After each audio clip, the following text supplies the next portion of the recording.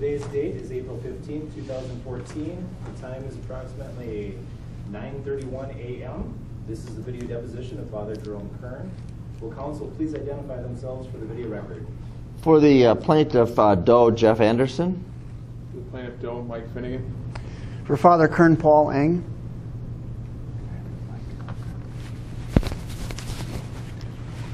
It's okay, I'll be able to hear you. John Gunderson for the Archdiocese. Along with Chris Rob. Court reporter, please swear in the witness. Raise your right hand, please. Do swear the testimony you're about to give relative to the cause now under consideration shall be the whole truth and nothing but the truth, so help you God. Yes. You may proceed. Father, would you please state your full name uh, for the record? Jerome C. Kern.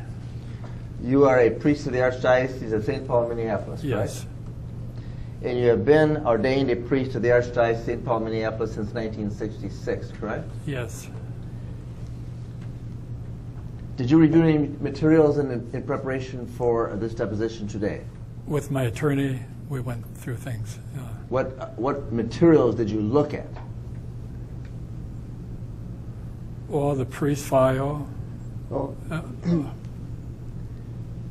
he's asking if you looked at documents. Yes. I, I believe it. I, I believe the question is whether you reviewed actual documents. no, no. Did you look at any documents at all in your pertaining to your file, for example? No, Have you ever seen your file? no,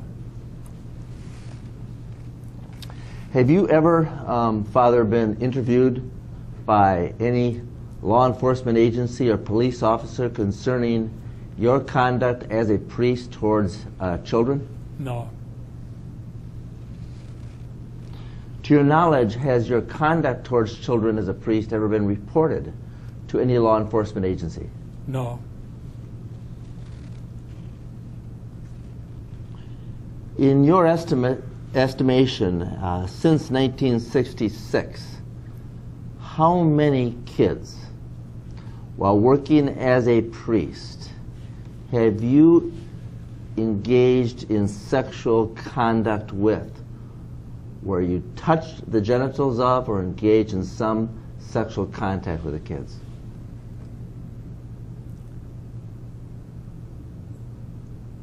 Well, that's such a general question. I don't know how to answer it. Well, let me, let me put it Uh, more simply to you. Since 1966, as a priest, how many different times have you sexually abused a child under your control? I never saw anything myself in terms of sexual abuse. And uh, I've given hugs, you know, to young people. And uh, uh, you know, so like the AM, uh, I'm just So- asking the number now. Just Well- let's listen to my question, okay? Since 1966, while working as a priest, how many different kids have you touched the genitals of, where you laid your hands upon their genitals? How many in number?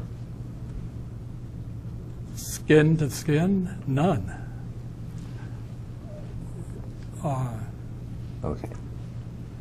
How many, how many different kids, uh, while working as a priest, have you engaged in any sexual contact with? Now, sexual contact is where, you- just a moment. I don't understand. Sexual contact is where you take your hand or any part of your body and place it against uh, the genitals or the buttocks of any uh, any minor.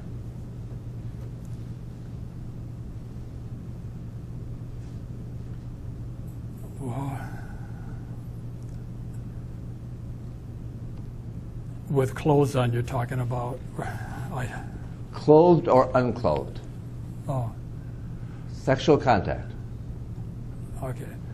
Uh, the Just, a- just give me a number. How well, many? I, I, do, I don't know. Uh, very s- More than 20? Oh no, no, no, no, no, no, More than 10. no. Less than 10? Yes. Less than 5? The, AM thing? Well, I have to think. Uh, Just give me a number, your best estimate, since you've been a priest, of the number of kids under your control that you engaged in some sexual contact with. Give me your best estimate of the number. well, under five, certainly. And uh,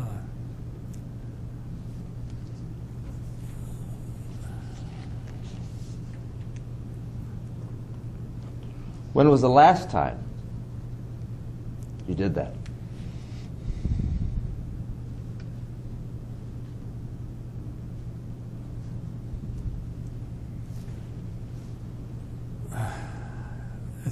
It's, so vague, I can't, I don't even know.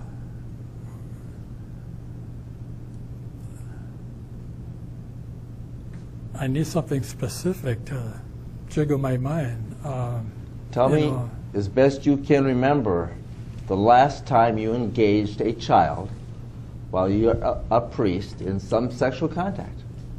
Last year, the year before? No, no, no, no, no. What? When was the last time then? I don't know, 30 years? For, uh, so long ago. 35 years? So you stopped doing that at some point in time, Father? Oh, yes. What made you stop? Well, the uh, the lawsuit, of course, with AM. Uh,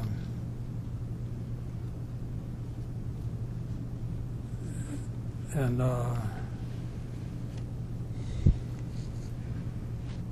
I just gradually realized that you cannot give these hugs you know, to anybody, really.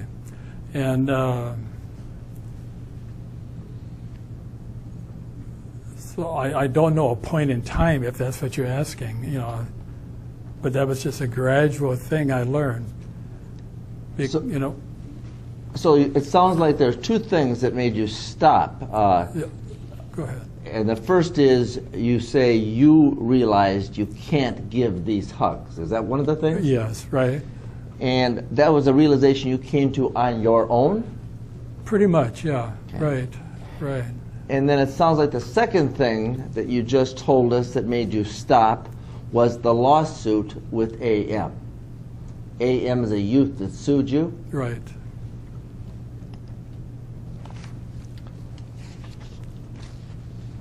Mr.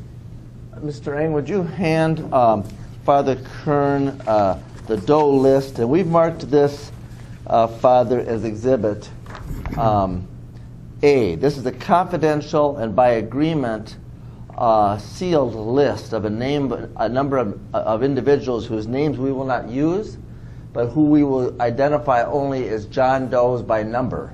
You gave an initial for AM, and I'm going to have you write on this exhibit. Oh, okay. Um, look at um, at John Doe 15. Is that uh, the AM you're referring to? Yes. Okay. Um, and are you aware that that individual who you referred to as AM has uh, gone public with uh, uh, the claims of sexual abuse of him by you? Are you aware that he's made that public?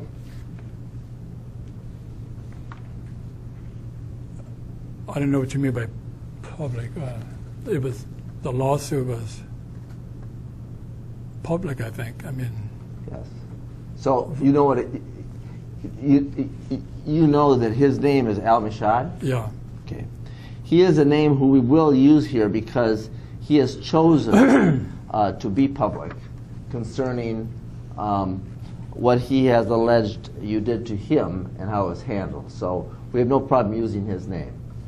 So just so we uh, are clear then, it's your testimony under oath today that there are no kids that you have abused sexually uh, as a priest since you sexually abused AM or Al Mishad.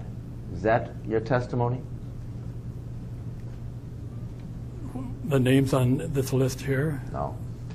I'm talking about time.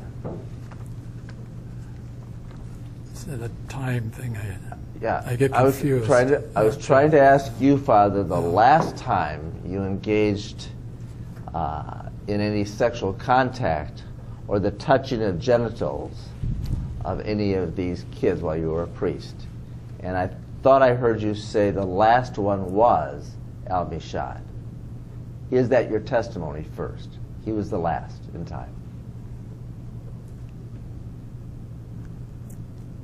I don't know the answer. That's why uh, I'm trying to think who else.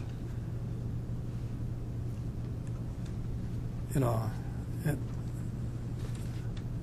because I don't, I- don't even remember that date um, of L.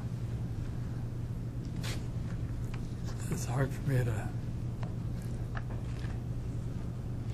Okay, why don't you, uh, on exhibit, you want this to be- on exhibit, on this exhibit F, why don't you just write down the names of the, of the kids that you did, that you did sexually abuse or touch the genitals of while you were a priest?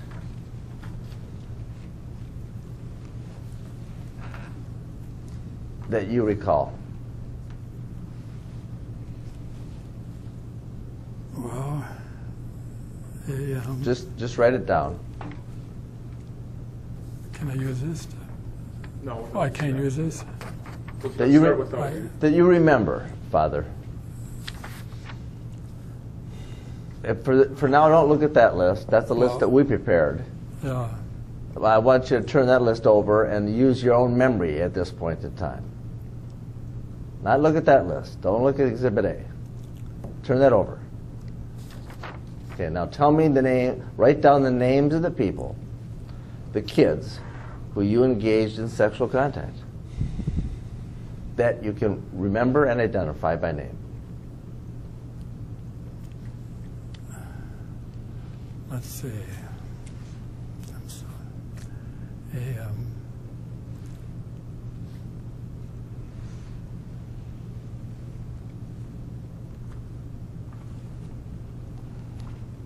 what did we talk about?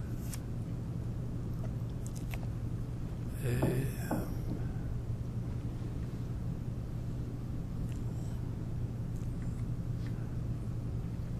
I just forget the names. Um,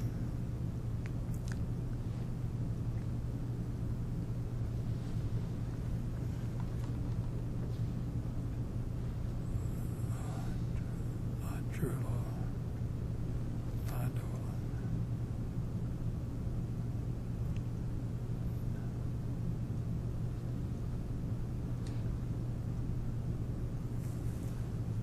Who are criticisms? Okay, um,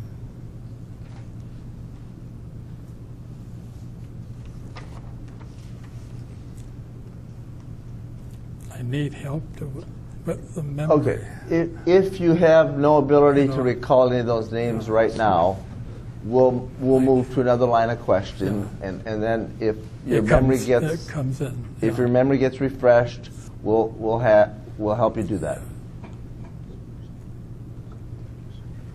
Do you remember the first time, uh, the name of the first individual that you ever, first kid that you ever engaged in sexual abuse of as a priest?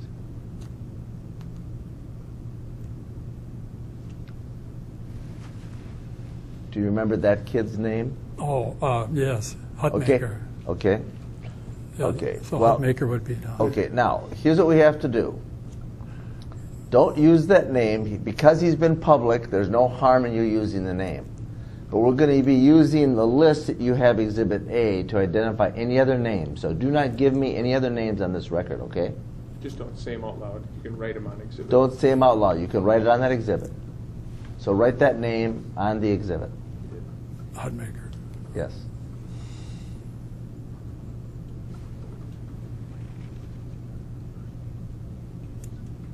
Okay. Okay. Do you remember the first names of any of these kids who you sexually abused? Yes or no? Well, I think it was James, something like that, James. Okay. But no, the question is, do you remember the first names? And you gave me the name of one of them. So do you remember any of the other first names without giving me their names? Without saying their names out loud, just a yes or no question. Do you remember any first names? And then if you do, he's gonna ask you to put them on the list Oh, without saying their names out loud. You want me to, Write down, write down any first names. Do you know of any first names? Besides those two? oh, besides those two. Uh,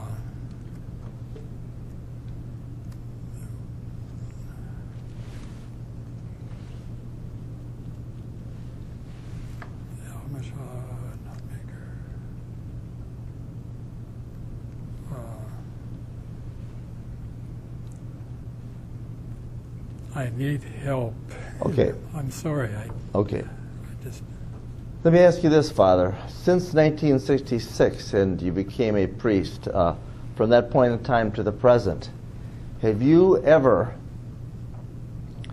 um, been concerned that you would be arrested by the police for what you did to these kids? No.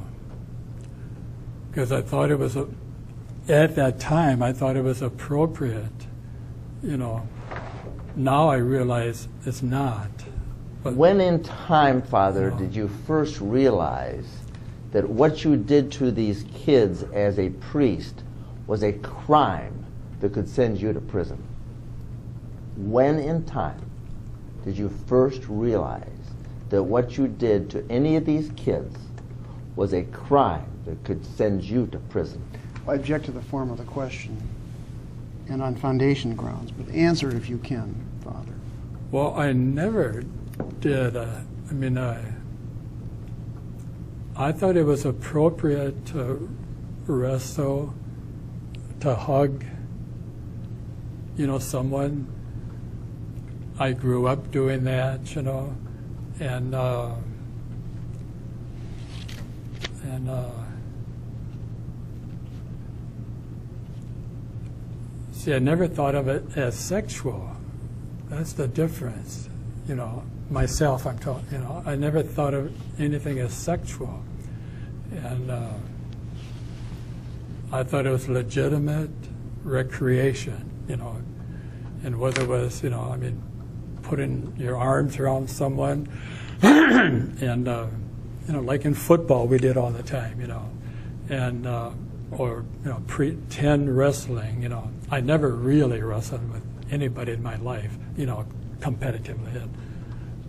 But just, we always called it horsing around uh, when I was young. You know, horsing around, jostling, and, you know, spraying water. And, uh, and I always thought it was okay. It's only when, you know, uh, there was an objection or, you know, the lawsuit, and I realize, you know, you cannot do that, do anything like that. When Yeah. did you realize or were told by anybody that it was wrong or that it was harmful and you cannot do that? Nobody.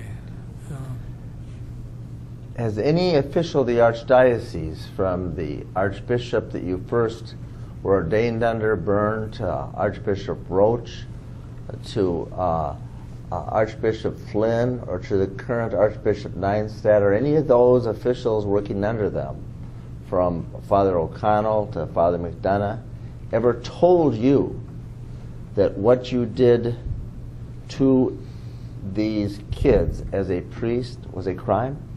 No.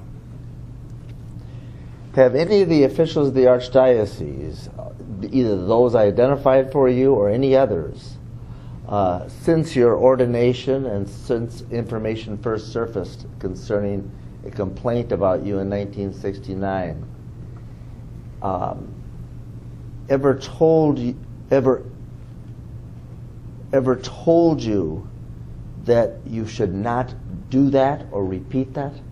No. And, and So the realization that this was wrong uh, basically came to you uh, that made you stop it, and not based on something else somebody else said to you, correct? yeah, yeah, nobody in authority, yeah. And And as a priest, you've always been under the authority of the archbishop, correct? yes, And uh, the one that ordained you, and then all of his successors to the present. yes, And you remain under the authority of the current archbishop then. yes, and uh, you were actually um,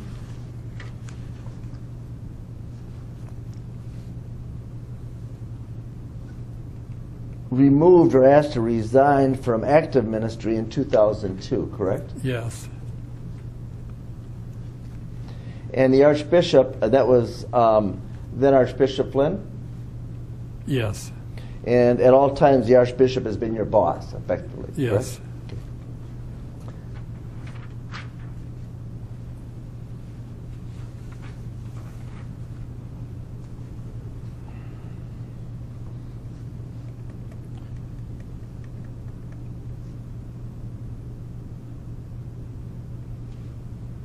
Did anybody from the archdiocese or any of those officials ever suggest to you that you could go to jail for what you had done to these kids by touching their genitals and engaging in sexual contact with them? No, So you've never worried about going to jail, have you? no, I really haven't.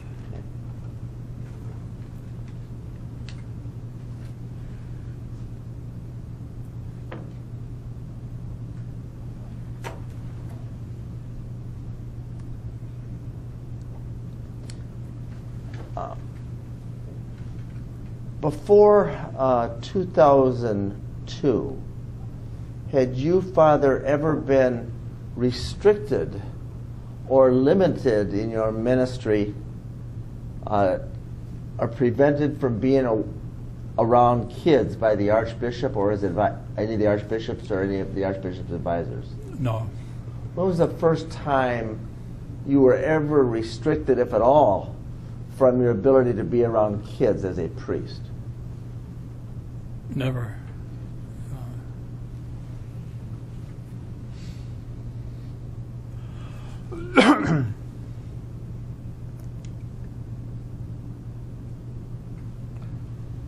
Look at the uh, John Doe list, Exhibit A, and now uh, run down the names of uh, those people and see if you recognize any of those names without stating them. Without Uh, stating the name, Without stating the name, but look at the list and, and then identify uh, by number uh, if you abused any of those kids listed as does 1 through 19 and 26. And then if you did, state the doe number, and then I will ask you. But don't state the name. Okay, do you see the list? you said a lot of questions there. Okay, Uh, look at the list. On the left-hand Yeah, side, yeah. you see doe numbers, right? Right, Look at the right-hand side. It lines up. right, names. You see John Doe 1. Do you see that name? hmm Yes? Yes, Okay. And then you say, at the bottom, you see John Doe 26. Yes? yes, And you see that name to its right? Don't say the name. hmm Yes? yes, Okay. And um, that is the plaintiff in this case. So Mhm. don't say his name, but I'll be referring to him as John Doe 26. Understood? Mhm. Okay. Now, look at those names, Father. And without stating the names, look at and identify the numbers uh, that correspond to the names of the kids that you remember having abused.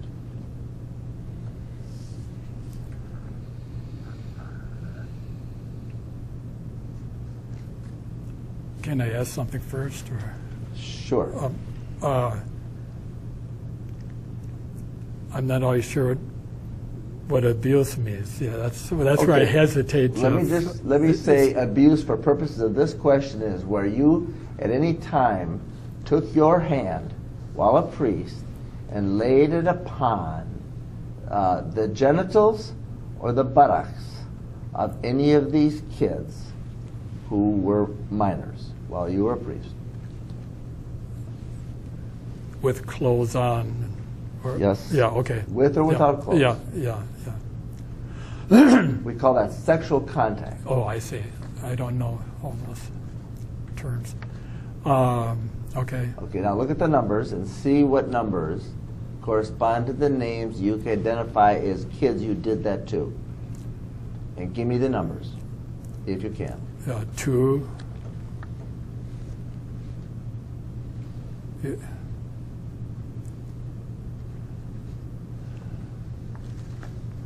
Brent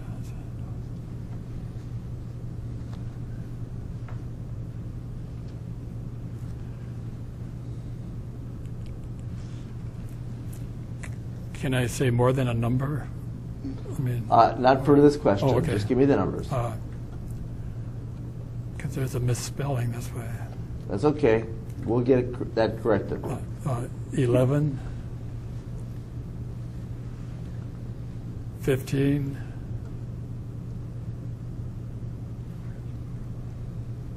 and that's it. I'm going to direct your attention uh, to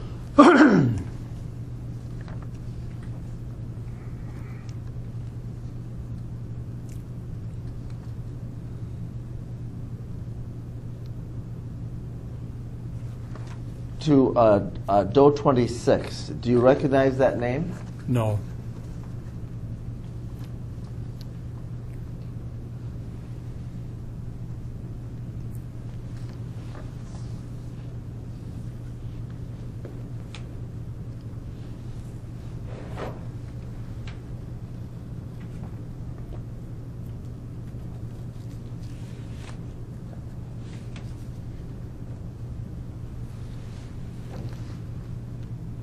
Reports that uh, you took him to um, your bedroom at Our Lady of Grace. Uh, do you remember taking any kids to your bedroom at Our Lady of Grace? No.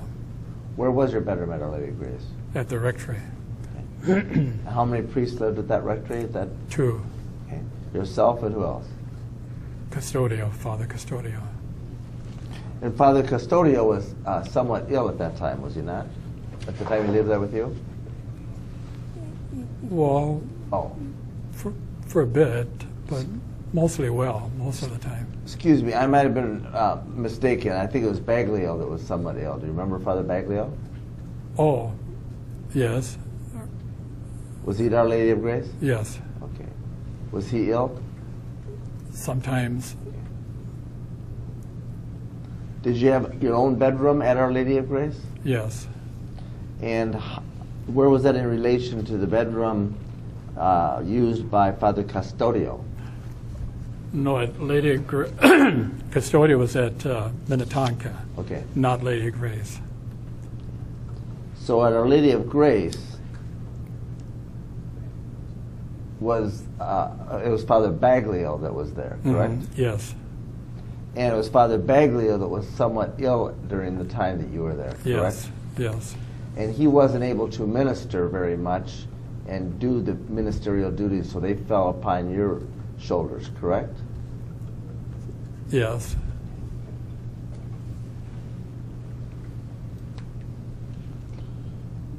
Do you uh, deny ever taking any kids um, uh, to your bedroom at Our Lady of Grace? Yes.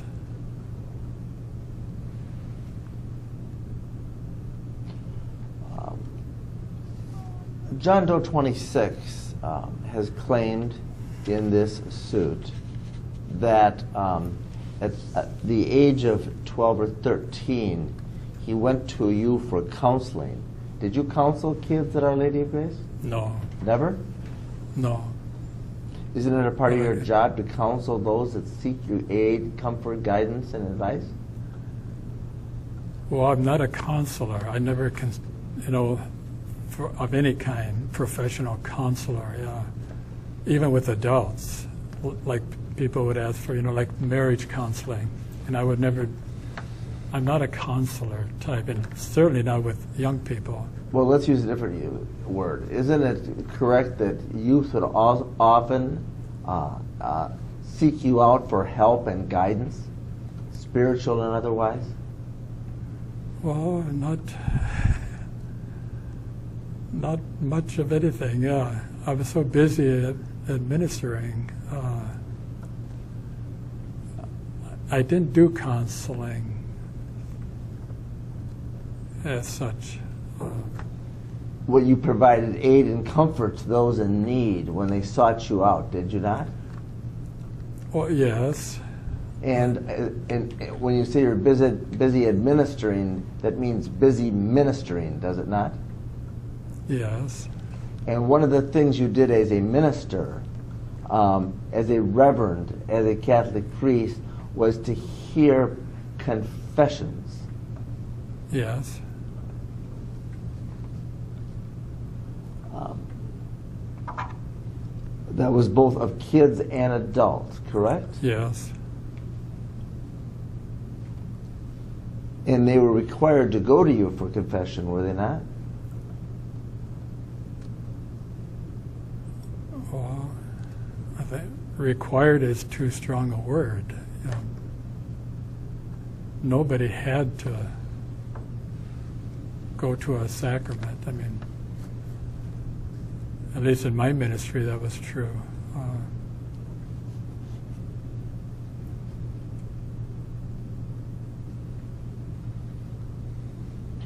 Uh, in this case, um, uh, Doe 26 has made the claim that in your bedroom uh, at the rectory of Our Lady of Grace, um, he was referred to you by his mother for some problems he was having. Do you remember helping some kids um, for problems they were having when you were at Our Lady of Grace? And then seeking you out for help? no, you denied ever having done that to any kids? Helped them when they sought you out?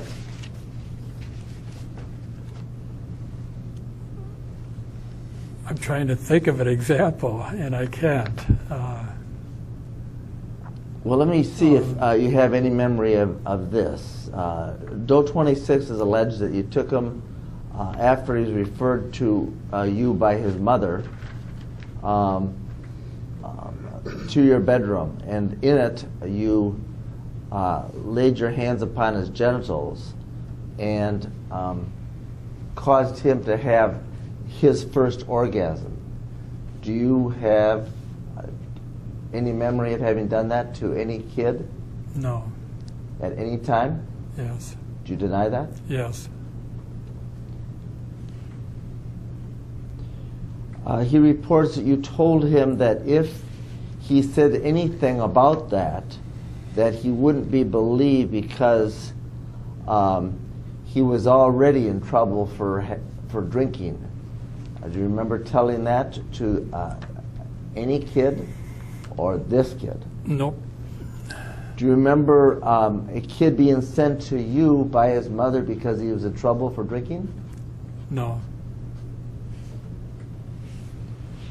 Uh, this uh, Doe 26 reports um, there were the next two times um, uh, this was repeated when he went to you for problems that he was having, including uh, uh, drinking, and that happened two more times.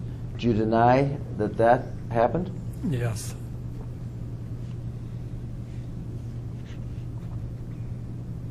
He reports that on two occasions, when he had gone to Mass alone, you made him go into the basement of the church um, uh, school, uh, into the cafeteria. Did you ever take any kids into the church school cafeteria?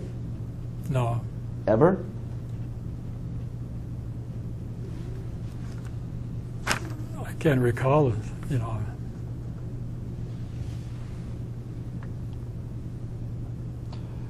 Do you recall um, uh, this kid or any other kid um, in or about 1977, uh, while at Our Lady of Grace, um, um, expressing concerns that he was gay to you. No, Uh,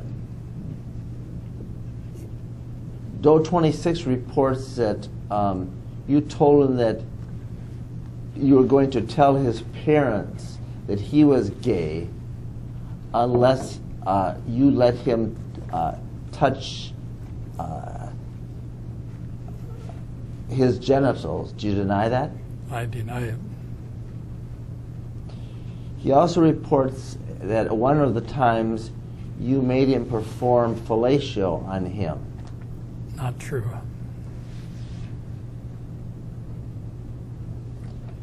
and um, and at least one other occasion um, masturbated and fondled him to orgasm. Do you deny that? Yes, He reports that uh, once when um, he was going to confession, um, it was an open confession. Did you do open confessions at Our Lady of Grace? I forget when they kind of started. Uh, I may have, yeah. And where did you do the open confessions? Well, you just set up chairs in the church, you know, two chairs, and uh, it could be any place in the, inside the church. It would be in Uh, a private area, but in a room face to face, as opposed to in a traditional confessional Right. booth. Correct? Right. And he reports that at one time in an open confession,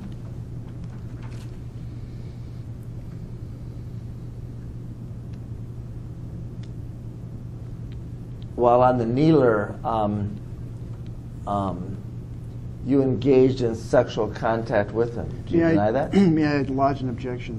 Um, By statute and also church canon law, a priest cannot reveal what has occurred in a confession. Um, He's not permitted to do it. If he does it, he's violated church law. So I lodge an objection, and I instruct him not to answer it, even though it's a, maybe a public confession. But in this one area of your questioning, Mr. Anderson, that's problematic. If you can rephrase it perhaps, but as it stands, I instruct you not to answer because it's it's violating church law and also statutory law. Well, I'll rephrase that because I can deal with that objection. Did you engage this kid, a Doe 26, uh, in sexual contact um, while in the sacrament of confession? No, Are you aware that it is a canonical crime to engage uh, or solicit any sex at the confessional? yes. When did you learn that? Well, in the seminary, you know. uh,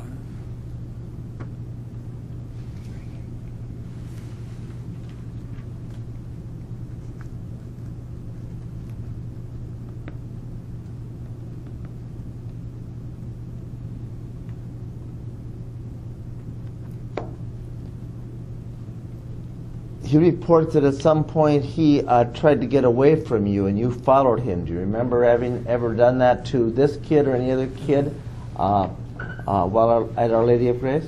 no,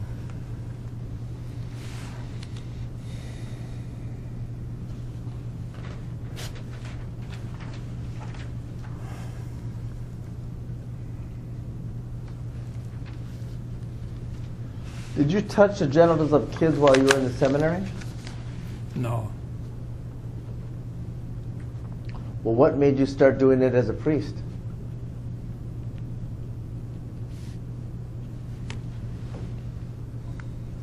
Well, when you say t- touching genitals, that's what throws, you know.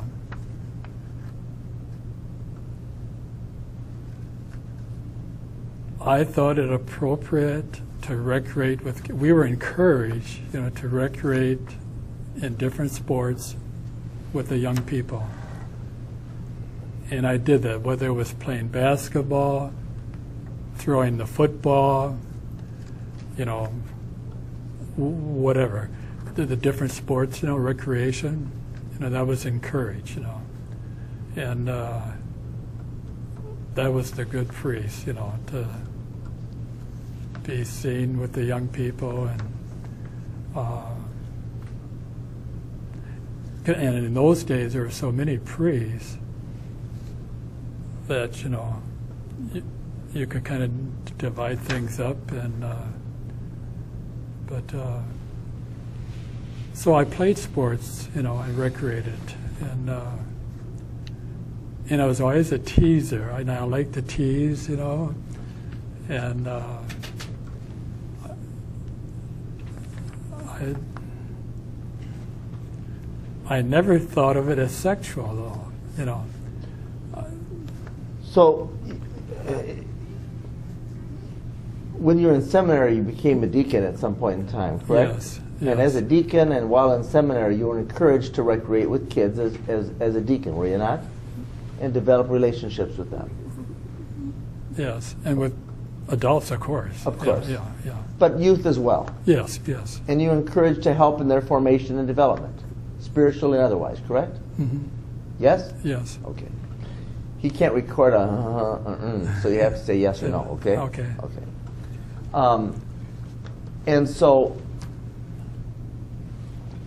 during the period of time as a deacon and while in seminary, did you engage in this kind of recreation with youth um, where you would have contact with their genitals? No.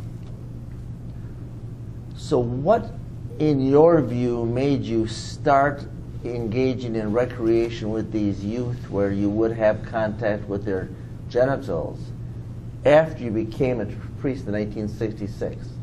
What was it that made you start to do that, Father?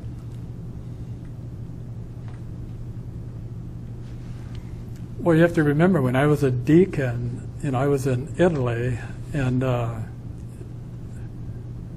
and there was that was so heavily academic over there, and uh, we had no time. You were studying all the time in Rome, and uh, so you had no time to be with young people or, uh, you know.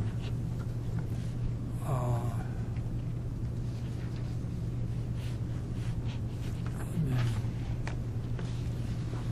So, do you have any insight into what made you have this kind of sexual contact uh, with youth that you've described as wrestling? What made you do that? No. I don't. Uh, You were under a vow of celibate chastity, in other words, to not have any sexual contact, correct? yes. Is that a way you satisfied your sexual desires and impulses? Is to wrestle with these kids and put your hands on their genitals? Yeah. Subliminally, you mean? Or I, I don't know. Did it know. turn you on, Father? No. Did you get No. erect? No. Did you have any sexual contact or sexual activity uh, beyond what you've described with any uh, since your ordination to satisfy your sexual impulses? Are you talking about adolescence or Anybody? who? Yeah. Since ordination, uh, yes. Yeah. How, how did you satisfy your sexual impulses? By far, one thing: masturbation. Any, with any Yeah. other individual? No, by myself. Yeah.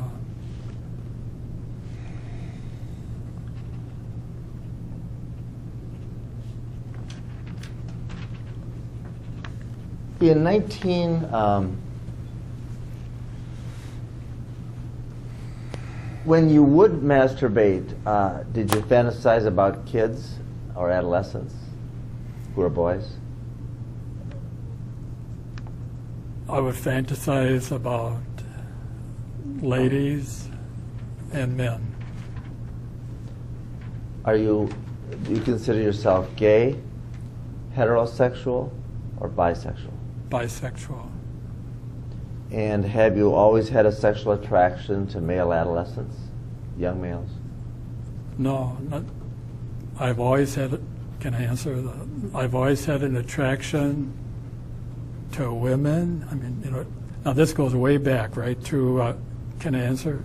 To, uh, to the very beginning, you know, high school.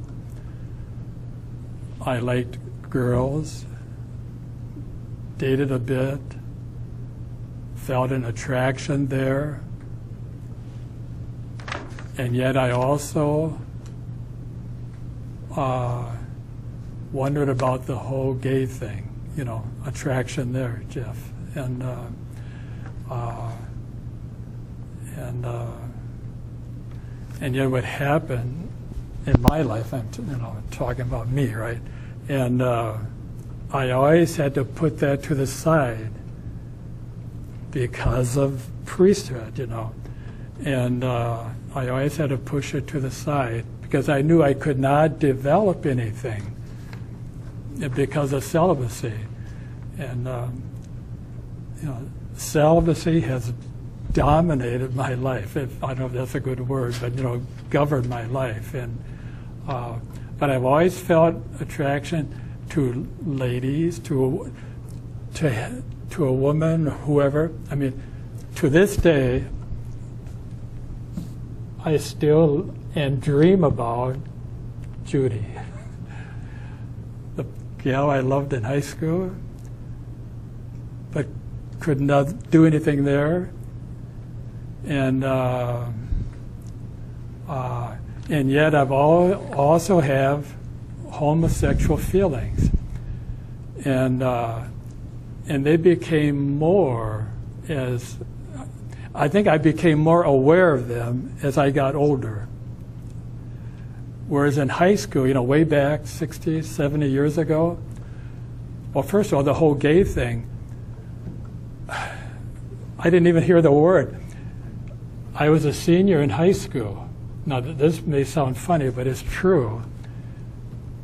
I was at Nazareth Hall, to give you a concrete example, but I was at Nazareth Hall. I was a senior in high school, and two of the seminarians were talking about this homosexual. I did not, I'm a senior in high school, right, Jeff? I did not know what that word meant. I'm 17, 18 years old. And um, so, uh, and I remember going back to the library and opening up the dictionary, you know, what is that, you know? And uh, so what I, well, what I'm saying is, you know, uh, I do feel bisexual feelings, uh, homosexual feelings. I have for some time. Uh, and yet, the women, a woman, if I could have done it, I've always thought would make me happy, you know. And but I always said no, no, no because of the demand of celibacy. Yeah. And I think uh, in an earlier deposition, you described that you were uh, taught and understood that your own sexuality and sex drive is probably so strong it's only second to your need to survive. Is that Well, I would say eating would be in there. okay? Um, It goes with survival. oh, oh, okay. Yeah. Yeah, okay. Yeah. Uh, the homosexual uh, or uh, uh, urges or fantasies that you have had, have they been towards uh, post-pubescent boys? Towards men. Yeah. What about youth? No. Not at all. No, not really. No. Yeah.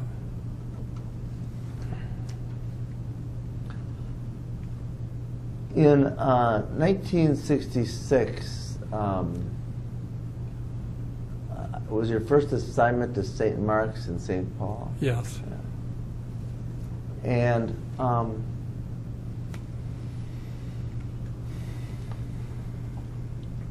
look at the Doe list. Uh, Doe number one, you see that name, Yes, and um, uh, there are indications that a claim has been made that you sexually abused or engaged in sexual contact with uh, Doe uh, one when he was then 11 years old and you were a priest at St. Mark's.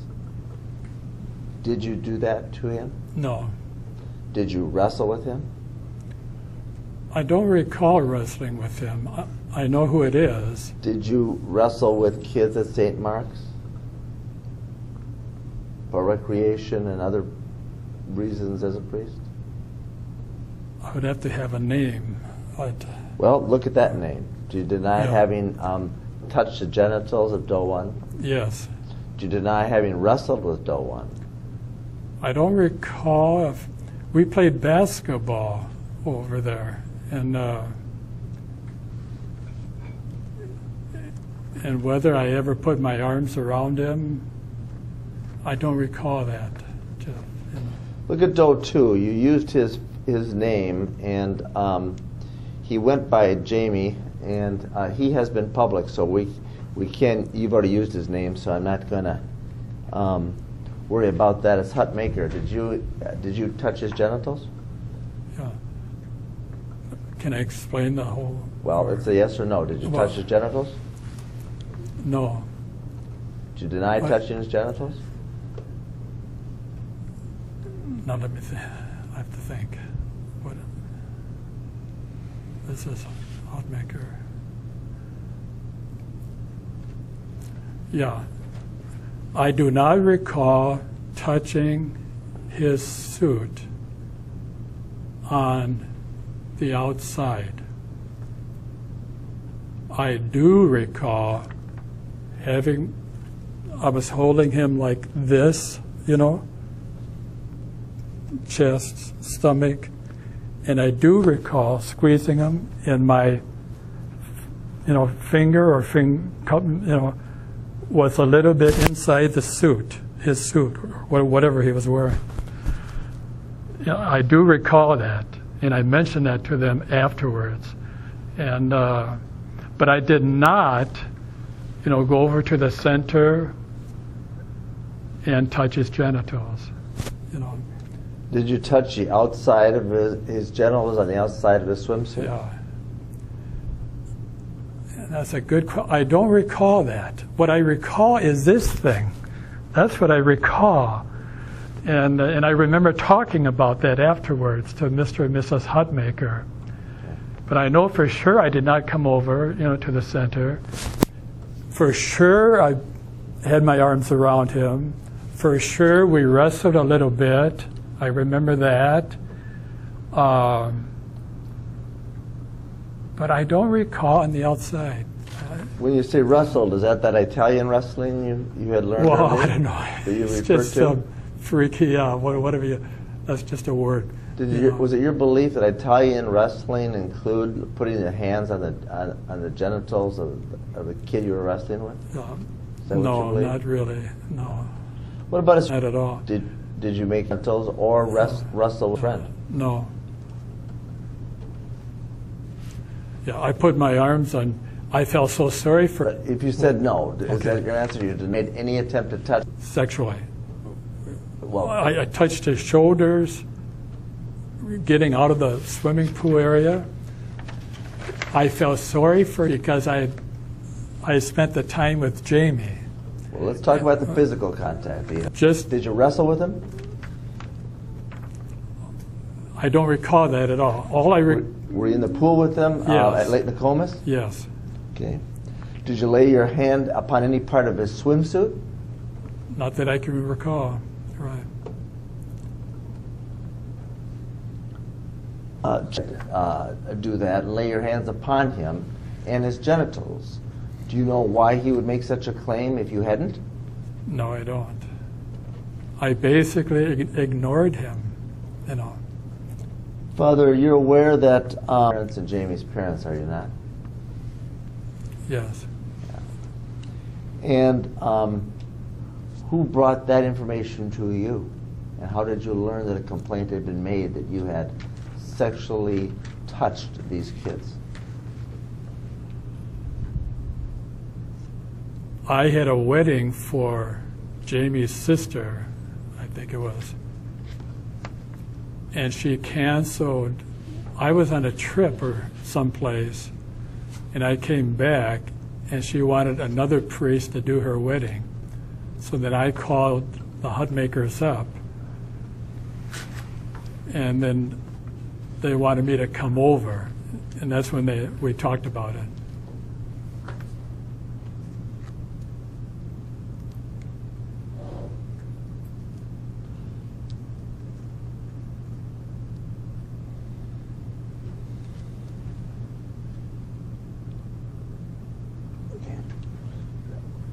So, what do you remember having happened then once uh, you learned a report had been made about you having touched the boys? I missed the first part. What happened With what? after a report was made by the parents that you had touched the bo- their boys? What happened to you? Oh, uh, nothing. Did anybody uh, scold you, reprimand you, discipline you, or warn you not to do that? No. And so you continued in ministry. Yes. You continued to minister at St. Mark's to the, the parents and the kids, correct? Yes. And uh, you continued to recreate with kids by wrestling with them as you had before, correct? Yes. And then um,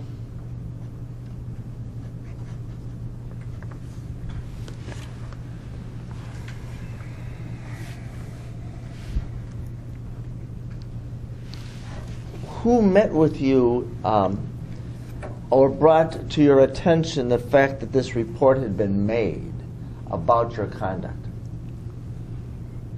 Who with the Archdiocese? Who contacted me? Yes. Uh, You had learned a complaint had been made yeah. about you and two kids, right? By the parents. Yeah. There was no report, like an official report, you know. Well, a complaint uh, verbally Uh, yeah. communicated. Yeah. Uh, Bill Kenny met with me to talk about the change of assignment to Our Lady of Grace. And did he meet with you to tell you, uh, he was acting under the authority of the Archbishop when he met with you, I trust? Yes. And did he tell you that the Archbishop had learned of the report and was considering reassigning you because of it? I forget the words. I mean, uh, he mentioned just mentioned the Hutmaker thing because Monsignor Gilligan and I were not uh, always getting along in terms of the general stuff in the parish. Uh, so, so you know they wanted me to move because of that. The differences between Monsignor Gilligan and myself. And so we talked about that for a bit. Were you, aware that, were you aware that Gilligan had also received the report? we never talked about it. no. Okay. And um, did it become clear to you that you were they were considering assigning you out of St. Mark's because of uh, difficulties with Gilligan, and because what had been reported uh, to the parents and the complaint made by them? Yes. Okay. And you were then assigned out of St. Mark's sometime after that by Yes. the Archbishop, correct? Yes. And it was Kinney, um, under the authority of the Archbishop, that, t- that dis- discussed that with you, correct? Yes. Did Kenny at that time ask you if you had touched the boys inappropriately? We never talked about it. Yeah. So he didn't ask. Right. Uh, did he ask you if you had sexual thoughts about boys or fantasies about uh, youth at that time? No. Did he suggest to you that to touch boys, uh, as had been reported by these parents, would be against the law or a crime? No. So you continued as a priest as you had before and were assigned by the then Archbishop uh, to um, Our Lady of Grace. Yes. And that assignment was effective in 1969, not long after these reports were made, right? I think I came to Lady of Grace in 1970, but or January 1970. Did the Archbishop or any of the other officials besides Kenny talk to you about this problem? No. Did you see it as a problem then? No.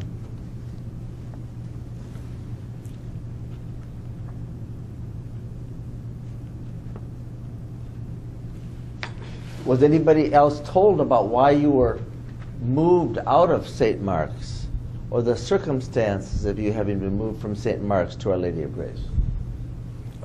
I missed that first part. Let me ask you this. What was the reason given for your assignment uh, out of St. Mark's to Our Lady of Grace, to the parishioners? To St. Mark's parishioners? Yes. I don't know what they were told. What time of year was that that, that Well, I thought it was, that was made? I thought I went to Our Lady Grace January of 70. Uh, Did Kenny, when you met with him, um, um, tell you to stop doing what uh, you had done that caused the c- complaint to have been made? No, And when you're sent, sent to Our Lady of Grace, um,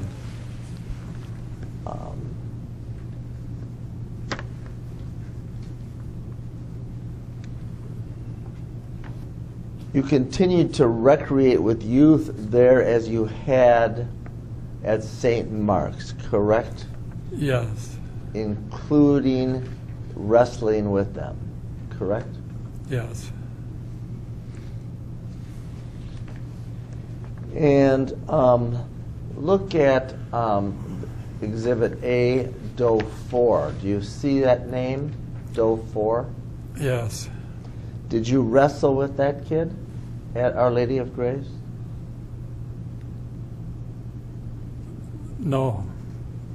I don't know.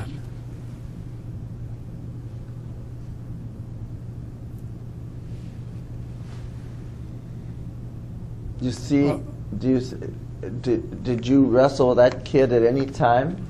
Well, I'm trying to, this is Well, a you're a priest at parishioner? Lady. This is a parishioner? Well, actually, you can see the name. Yeah, that's So I'm- uh, it can be, it can be either, or it can be a parishioner or non-parishioner. My question is Oh. to, to you is, did you engage in this wrestling with Doe 4 the, the same way you had with Doe uh, 2 and 3?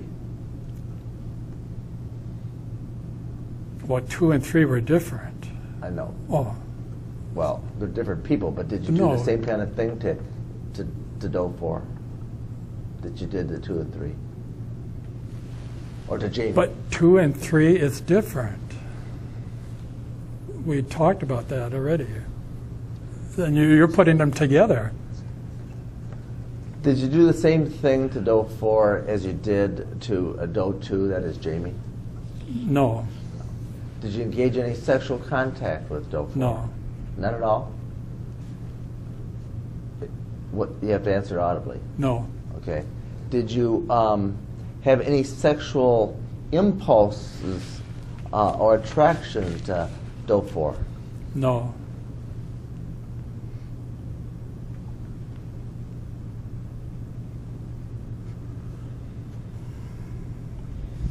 Look at Doe 5. Did you engage in any of this, uh, any kind of contact that, with Doe 5 that you had with uh, Jamie at St. Mark? not at all. Do you deny any sexual contact with him? That is, the touching of his genitals, wrestling, or anything else outside his clothing at any time? I, whoop, I can't say the name, right? Correct. Yeah. You I can almost- say you did or you didn't. No, N- nothing with five. Look at number six. Did you engage in any sexual contact or wrestling as you've described it with six? No, Look at the name uh, seven. Did you engage in any sexual contact or wrestling as you have described it with seven? no. Do you recognize the name? I recognize the last name. It was a big family. Uh, so I'm not. Okay, look at Doe 8. Did you engage in any sexual contact or wrestling as you've described it with Doe 8? No, Look at Doe 9. Did you engage in any sexual contact or wrestling as you've described it with 9? No.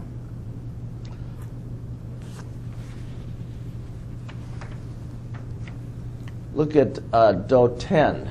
Um, in 19, early 1970s, did you, did you engage any sexual contact or wrestling as you've described it with Doe 10? No.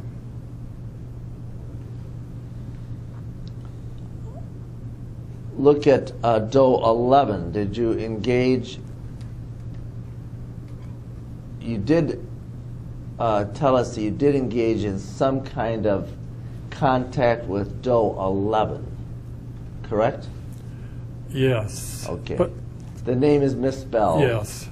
And um, you can make a correction on the exhibit as to the correct spelling of the name. Whoops. Here. Yeah, don't state what it is, but write it on the typewritten exhibit, exhibit A. Just don't state the name. Is that what he wants? Yeah. And so, referring to Doe 11, then, what did you do to him? Was he 11 years old at, at that time? Maybe about. What'd you do? We were at the seminary, and I forget what sport we played, basketball or I forget. But then we went into the weight room, did some some machine stuff there.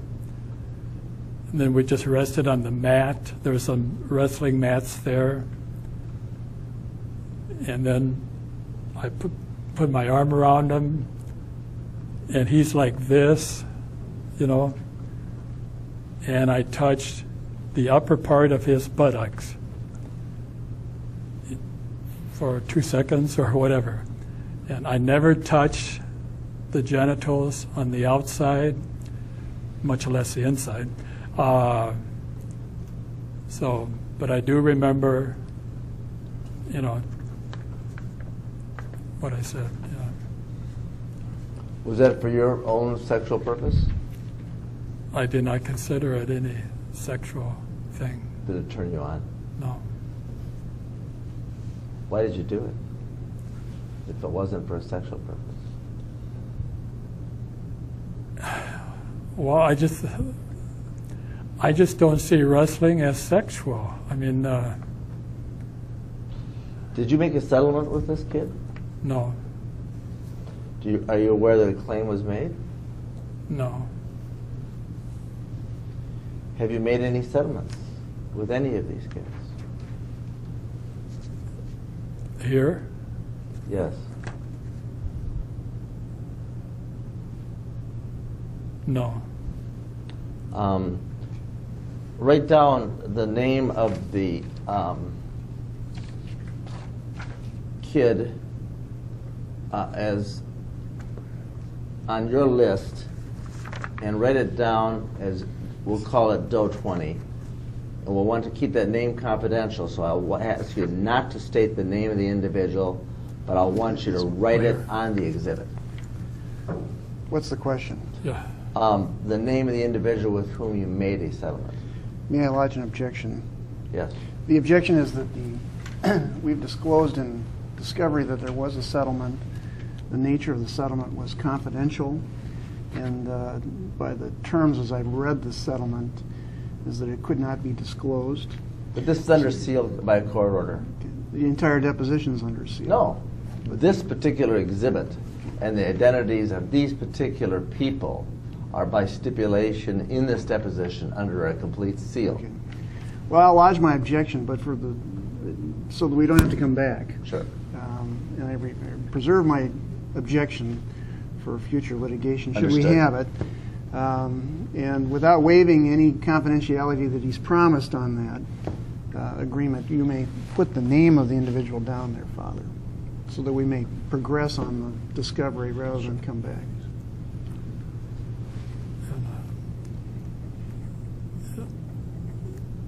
I forget that last name. If you know the name, write the name. If you know- don't know the last name, you can't write it. Yeah, I can't think of it. We'll have you write it later. And maybe council can help you at that time. We'll have you write it later. He's got, for the record, he's got the first name. but- Okay. Well, maybe after the break, we can work on it. Okay. Um, I'm going to direct your attention back to um, the time frame of uh, the early 1970s while you're at Our- Our Lady of Grace, and specifically 1973. Uh, Let's see.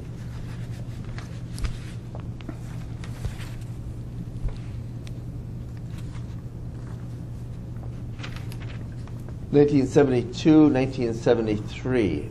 Uh, I think I had asked you last about Doe ten, and then Doe eleven, and I'm now at Doe twelve. Look at Doe twelve. Did you engage in Doe twelve uh, in any sexual contact or wrestling as you've described it? No,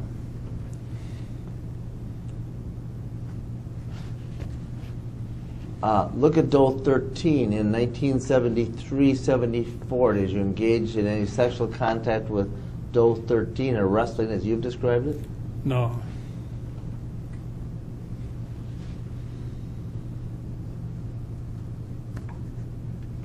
Um, in 1976, it appears that you were assigned to Immaculate Heart of Mary in Minnetonka, and uh, you're a, a co-pastor there with uh, uh, Father Costa. Uh, I think it's Custodio, correct? yes. Um, why were you uh, reassigned from Our Lady of Grace to Immaculate Heart of Mary? Is it, was it because of something that had happened with one of these kids, like at St. Mark's? No, What time of year was the assignment? June. Okay, the assignments are usually made in June, aren't they? More of them, right. The assignment that had been made for, uh, uh, by you, the Archbishop for, of you from uh, St. Mark's to Our Lady of Grace, however, was made in December, not the ordinary time of assignments, correct? Correct. And that was because of the complaint that had been made and the concern around it? I think so. Okay. And so um, the assignment to Immaculate Heart of Mary in any case didn't have anything to do with a complaint as far as you know, correct? Right. Okay. And then uh, when you were there, did you continue to wrestle with the kids, recreate with the kids, and do pretty much the same things you had done with the kids that you had at your earlier parishes? In general, yes. And you believed it was innocent conduct, not criminal in nature when you did this, didn't you? Yes. And you now know it wasn't innocent conduct, don't you? It, I know it's now inappropriate, yes.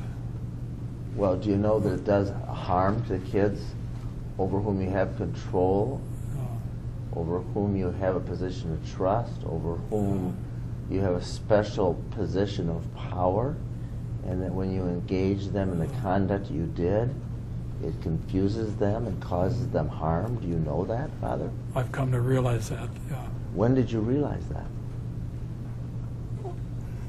There's no magic date, you know, just gradually, you know. Uh, while at Immaculate Heart of Mary, um,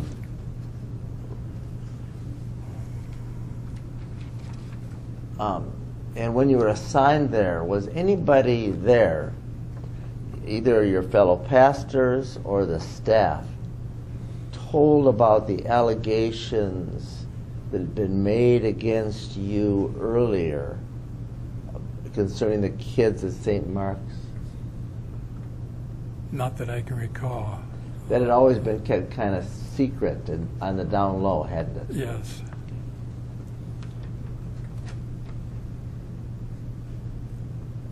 And so, um, well, at um, Immaculate Heart, then, uh, look at um,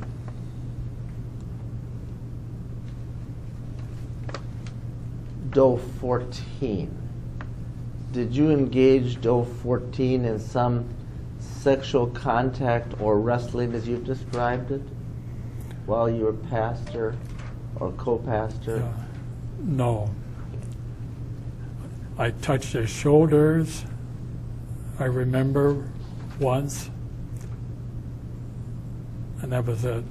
Did you wrestle with him? No. In 1977, uh,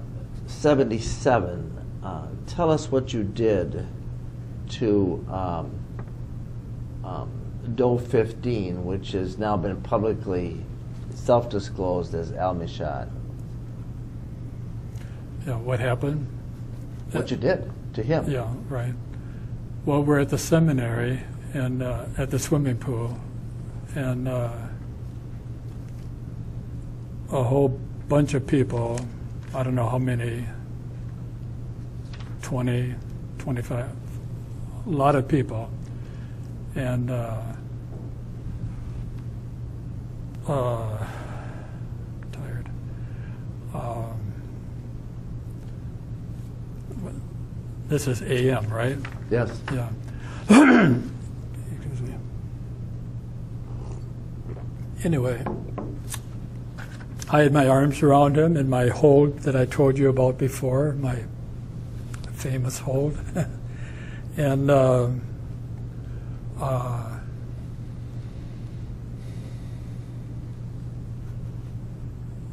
kids were coming and going. This was a Boy Scout thing, you know. And uh, uh, they were trying to dunk me, spraying water in my face. I was spraying water in their face. And what's the number? And 15 was right there. I had my hands on his waist, like this. And, uh, and I know I put my arms around him.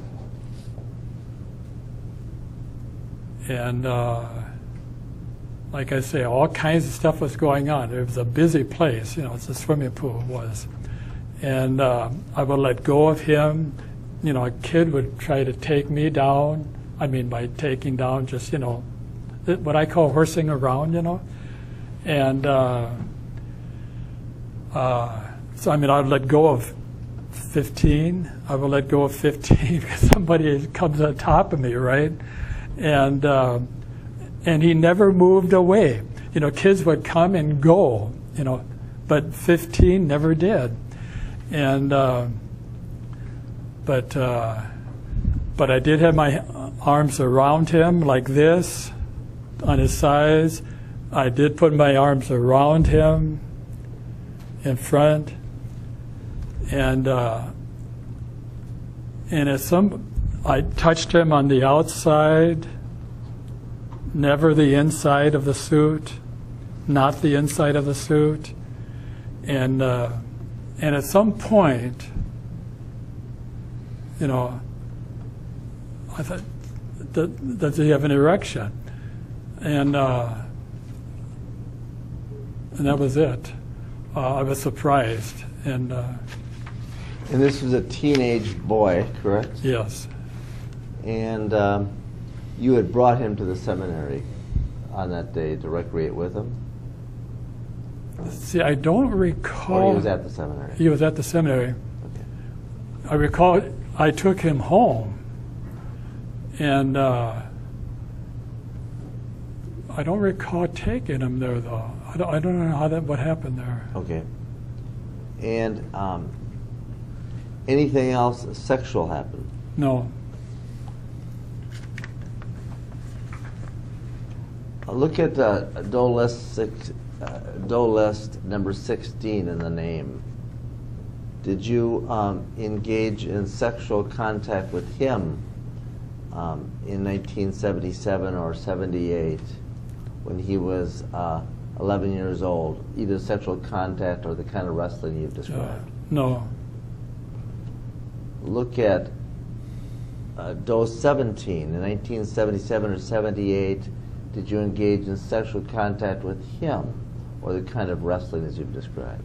no, Did you do anything with any of these does like you had with Doe 15 where they got erections? no, At this point in time in your sexual experience or wrestling experience with all the kids we've identified, had any of the other kids gotten erections uh, besides uh, Doe 15 AM All these names, so far? Yeah. yeah, not that I can recall. Did Yeah. you get erections? No, Never. no, In 1979, um, did you engage in uh, wrestling with uh, or any sexual contact with Doe 18? no, Uh, in 1981 or 82, did you engage in sexual contact or Uh, wrestling as uh, you've described it with Doe 19? What were we going to say about 18? wait, yeah, I'm, I'm trying to get the names here.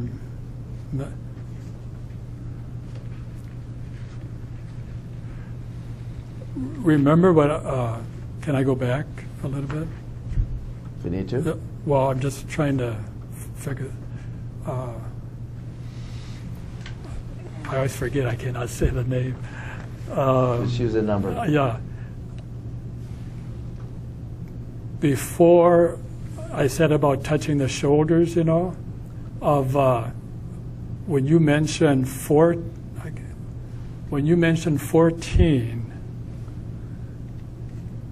Uh, I was thinking of 18, Okay. Okay. okay? Because of the similarity of names. Uh, yeah, well, and they're, yeah, two, two different people. But, but nothing happened with 14. But I did touch the shou- shoulders and kidded around with 18. What But I got it that? mixed, oh, I don't know. That's okay. I What- don't what, what assignment were you at when that happened? It's so long ago. Did you wrestle with him? No, no, not, Okay, look at Doe. Um, um, 19 then. Did you engage in any sexual contact or wrestling as you've described it with 19? no, I, I don't know this name. Um, at some point in time, uh, did you learn that uh, um,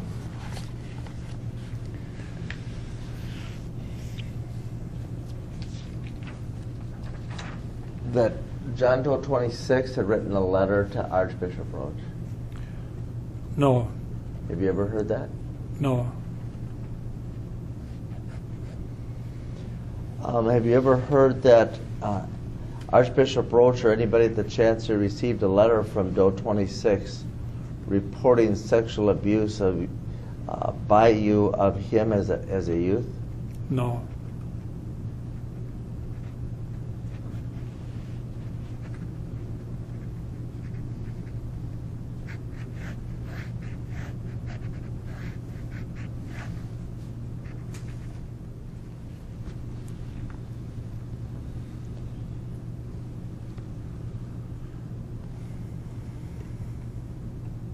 When is the uh, next time, after having been removed from St. Mark's for the reasons you've described and sent to uh, Our Lady of Grace, uh, did any archdiocesan officials discuss with you concerns about your relationships to or conduct with youth?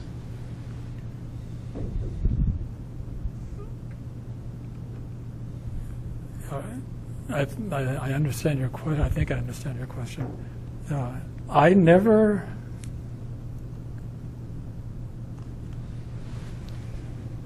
I never talked to anybody in authority. That's what you're talking Yes. about, Jeff. Um, about any of this, uh, the archbishops. Uh, I mean, uh, What about Well- O'Connell or McDonough? okay, yeah, okay, I was thinking of bishops and, Okay. um, yeah. Because I went for evaluations.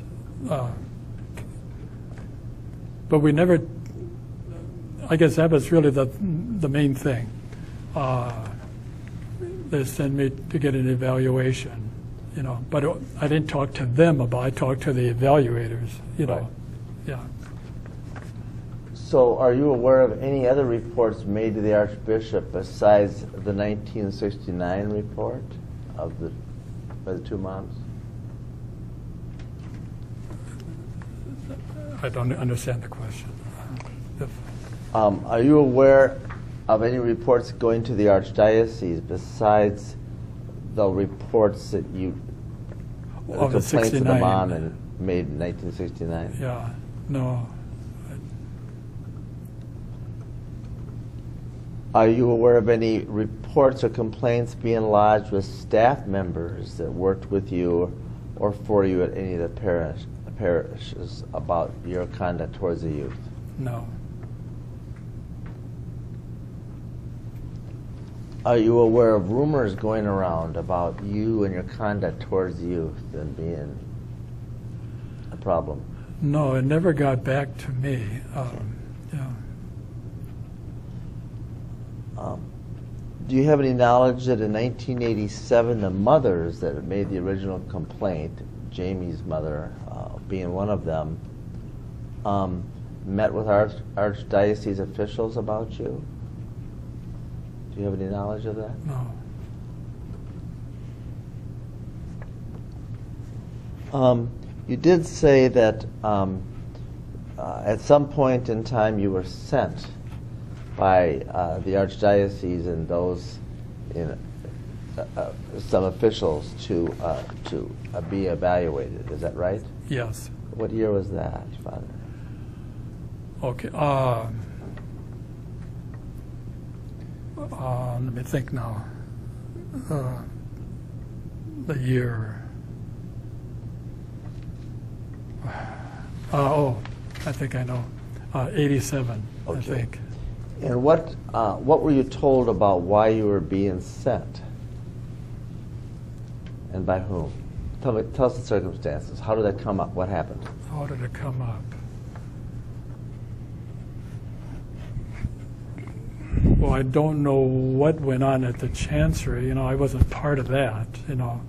Um, uh, so I don't know that history at all. Uh, What were you oh, I told, got, though? I got, yeah, right, exactly. Uh, who called me? Uh, Was it Father O'Connell?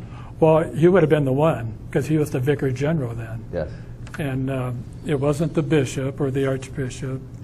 It was Mike and, oh yeah, now I remember. Yeah. And they just said, you know, they did some review. Mike said something like this. I don't quote me. I don't know the exact words, you know. and uh, have a bad throat. It's okay. But uh, yeah, I remember now.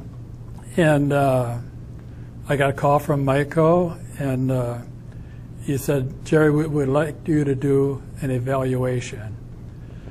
And uh, so I did. I mean, uh, Okay, so let's just make sure we're talking about the same thing at the same time. You said the year is 1987. I think so. You, you're contacted by the then Vicar General, Michael O'Connell, Yes. and you know that he's acting under the authority of then Archbishop Roach, correct? Yes. Okay. And when he contacts you under the authority of Archbishop Roach, he tells you that he'd like to have an evaluation done of you, correct? Yes. He also imparts to you that some problem has arisen that would cause him to be concerned enough to have this evaluation done, correct? Did he tell you what it was? That's, I forget that part. If uh,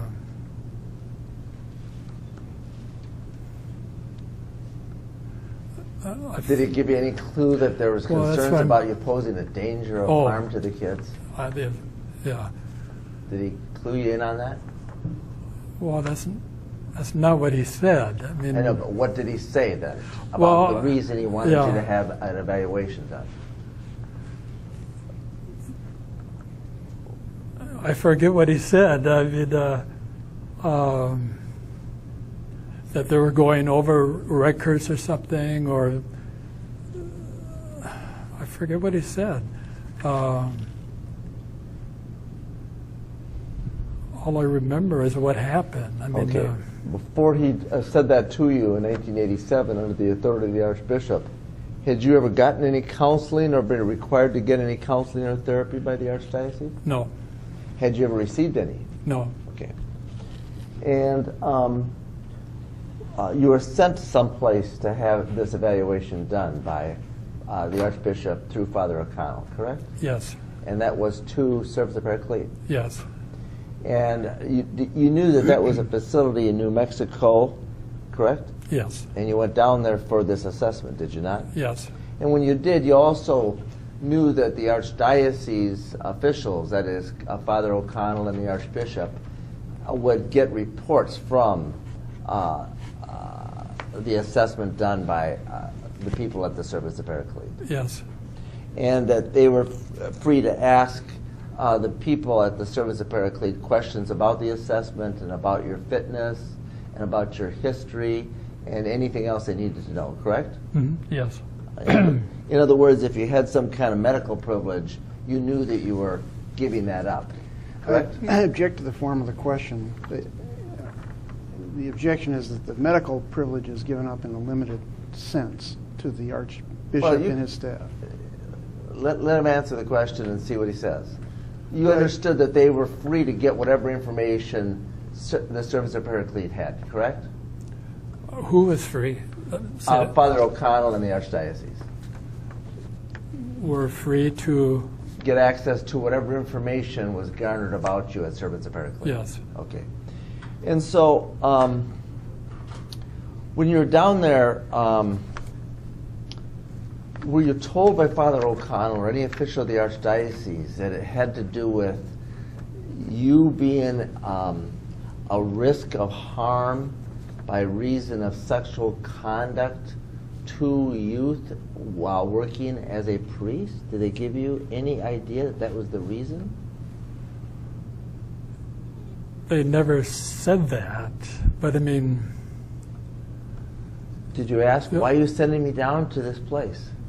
Well, yeah, I had a, you know, clue that, you know, it was because of that whole topic, you know, and. The uh, topic is sexual conduct with youth. Right, Okay. right, yeah. And so, Back on the record at eleven fifteen all right, Father, uh, I had directed your attention back to the time before you're sent by Father O'Connell, the Vicar General, under the authority of the Archbishop to the Service of Paraclete facility.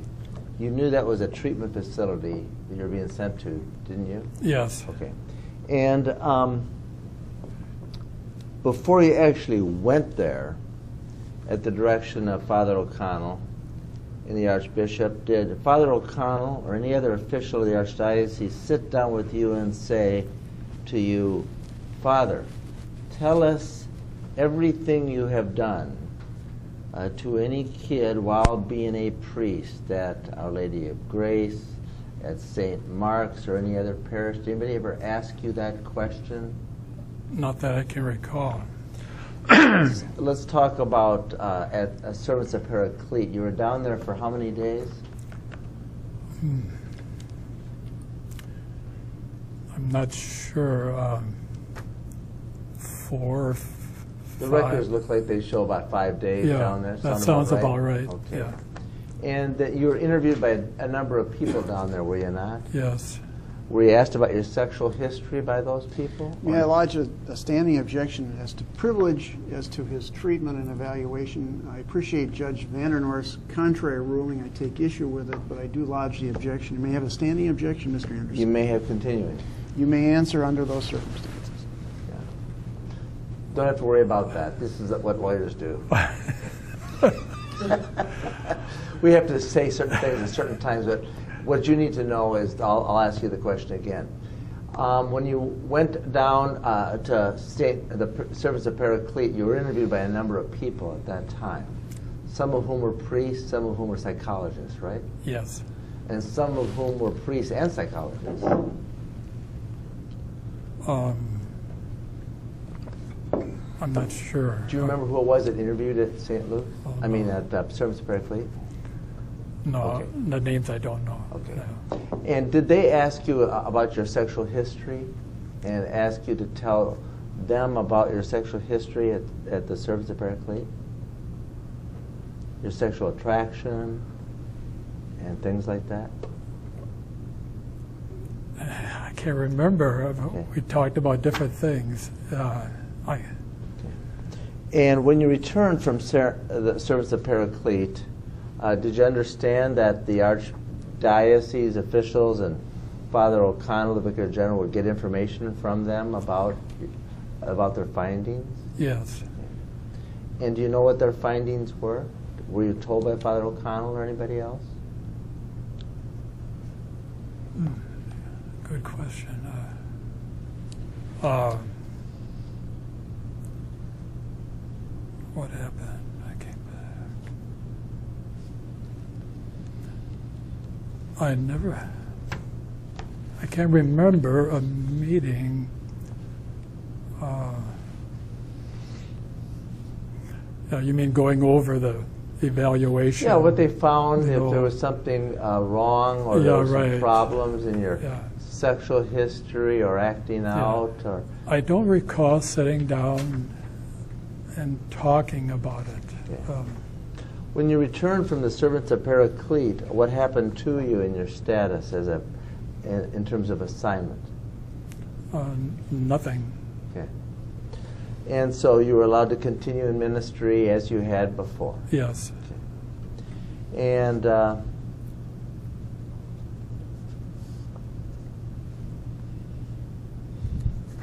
at that time you were at um, Immaculate Mary, correct?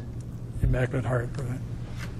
Did anybody from this uh, archdiocese, as far as you know, go down and visit you or those that were seeing you down at Cerro Paraclete in, in New Mexico? Not that I can recall.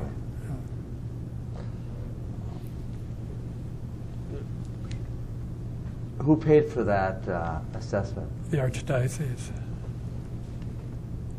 And have you seen any of the correspondence between the archdiocese and the service of Paraclete between about sending you there, or the reasons for it, or the findings made? Yeah. Not that, not that I can recall. I, uh, yeah, like a report or something, or a document. The, rec- the re- records reflect that it might have been in the summer of '87 that you went down there. Do you remember that was the summer? It was Uh, hot down Yeah, it was warm. Yeah. I remember that. Yeah, that's a nice facility down there, though, isn't it? Pretty nice. Um, in um, November of that year, about about five months after you'd been sent to ser- service of Paraclete, uh, did something come up um, uh, that you're aware where Father Custodio reported um, that you had a habit of, of pulling uh, uh, young boys onto your lap and tickling them? Do you remember a problem like that? no, no. Do you remember Father uh, O'Connell getting involved again uh, in November of that year, five months after you come back from service of Paraclete, about your involvement with kids in at the parish? You know, meeting with them or Meeting or Yeah. something being brought to your attention or a problem, either but either from Father O'Connell or Father Custodio? no. Do you remember um, um, receiving information that um, a father uh, then uh, Carlson, who was, I think at that time, was uh, Bob Carlson, uh, uh, a chancellor or, or auxiliary bishop? Do you remember? In 1987? Remember Bob Carlson getting involved? No. Okay. Do you ever receive any information that Father Carlson saw you um, at Loring Park at a time of night where there's a high degree of, of men soliciting for sex? and he brought that to the attention of the Archdiocese? I don't recall that. Do you remember seeing Bob Carlson in Loring Park No, at night? no.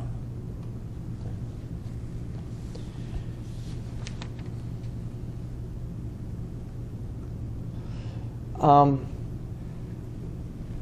do you remember um, being asked to see a, a, a local psychologist by the name of Gary Schoener in Minneapolis? Yes.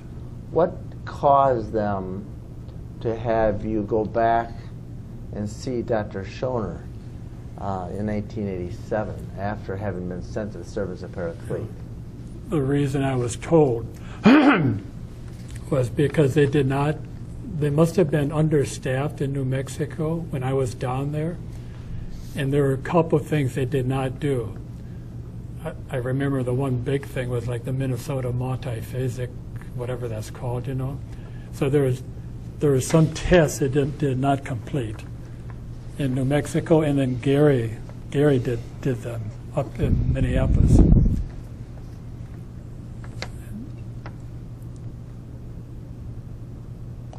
Did you receive information before being sent to uh, um, Dr. Schoener that Father O'Connell had seen you with a young boy at the seminary in uh, November of 87?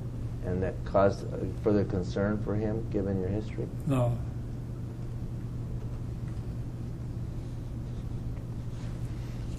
Had anybody raised with you at that time um, concerns about you having a habit of pulling young boys onto your lap? No, no Had one, you, had you been doing that? I don't recall, but you're saying that. Uh, no, nobody said anything to me. Um, are you aware that the, uh, the Archdiocese was free to get information from Dr. Schoener about his um, uh, uh, findings and assessment of you? I assume that. Uh,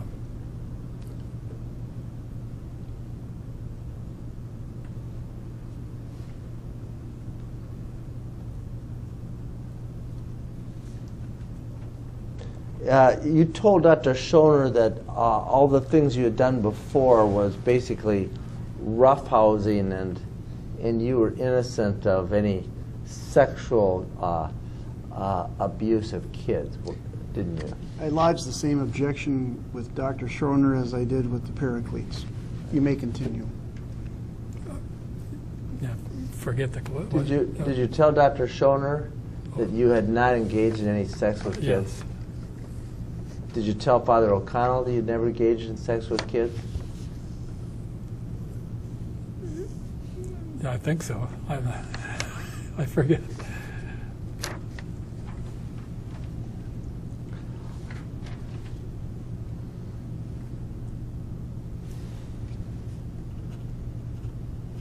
Uh, when you were sent to the servants of Paraclete, um, uh, were any of the parishioners told that you were being? What were the parishioners told about why you departed and left? I don't think anything, but I'm not sure of that. I was gone. You know, something could have happened when I was gone.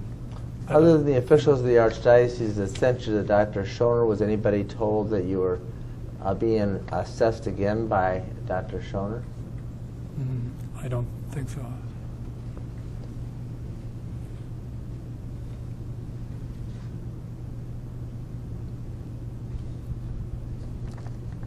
Uh, in 1988, um, there is some kind of apology letter from you to the parents that had complained back in 1969, Hutmaker and the other mom. Do you remember why you wrote that? Yes, and I wrote it because Mike O'Connell asked me to. And did he tell you why um, that is being written in 1988 when the events had happened in 1969? He didn't say why.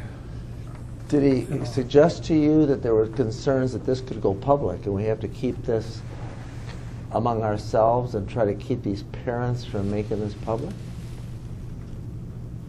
Well, he didn't say that. Did he imply it? I'm trying to think of what. Not really. I mean, uh,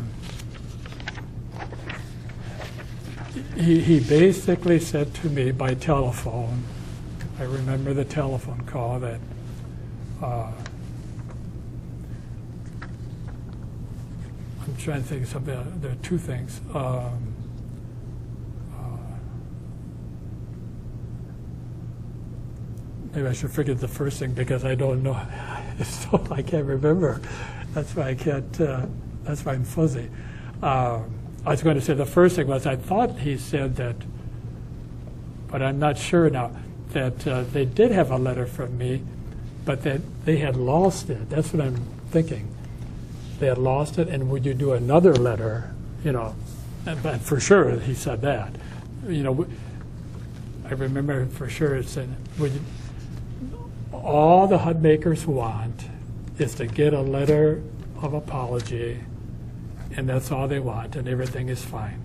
I remember that clearly. And whether they had lost a letter before, see, I don't, that may not be true. I, I can't remember that. Uh, Did, did he imply to you that if you do that, then it won't go to the police and the public won't know? No, nothing like that was said. It- Was it implied?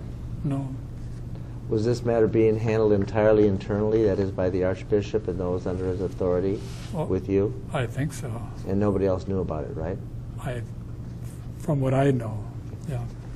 And so, um, in 1990, um, um, did it come to your attention that there were concerns about you having earlier taken your pants off in front of a boy in a group setting sometime before?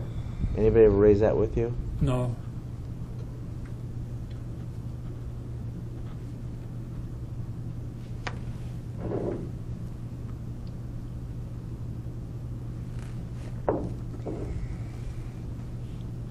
In 1992, uh, look at um, doe number six in that name, okay?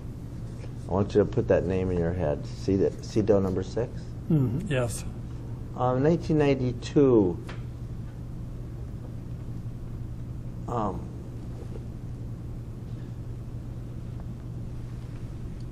did Father McDonough uh, uh, talk to you about um, your sexual history and uh, a problem concerning that kid?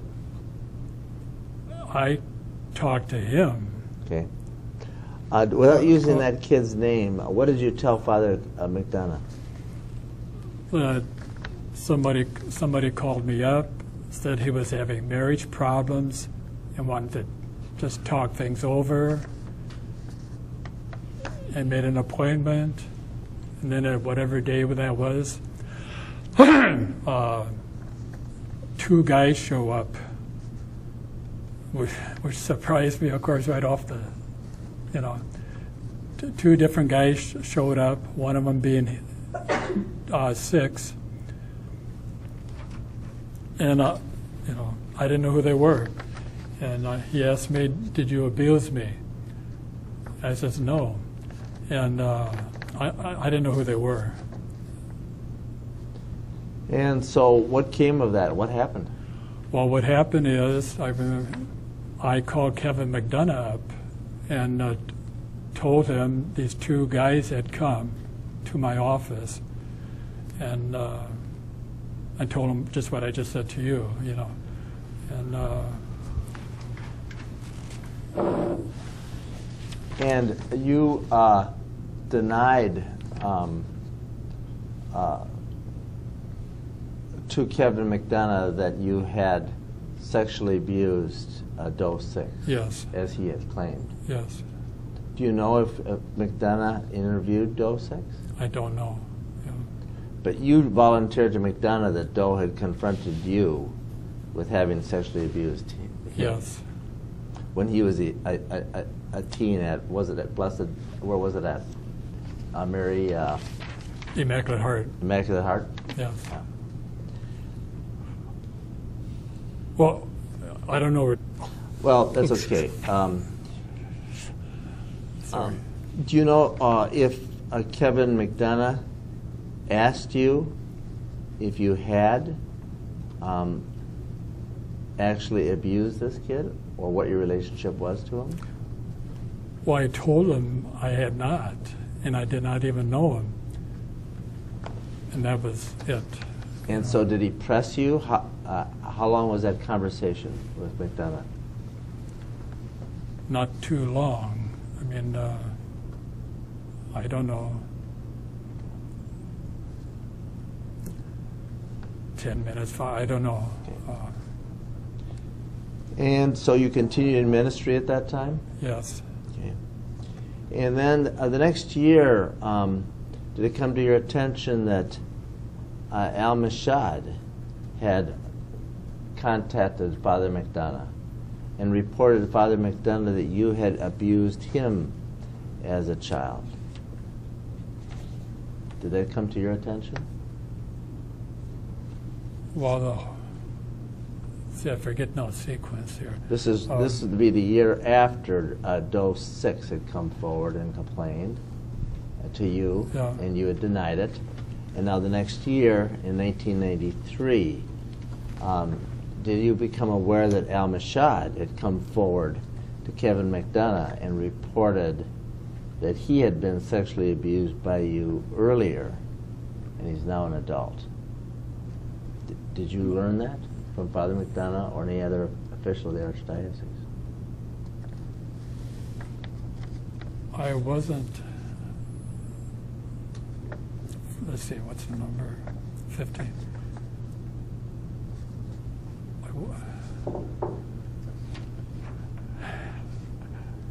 My, I'm not, my mind is not working.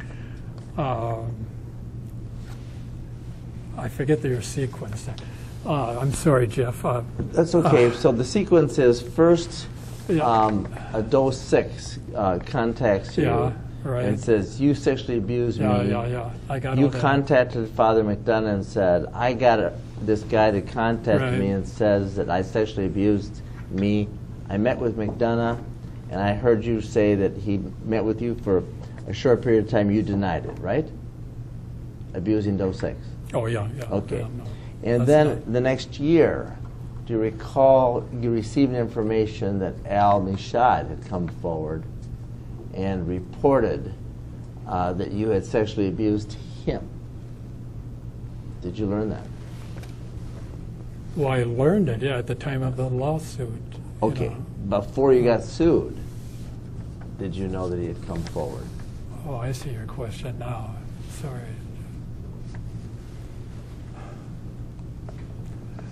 I just can't recall. Okay. I'm sorry, I can't. You do remember getting sued. You know, remember that Oh, I represented him, right? I sure do. And um,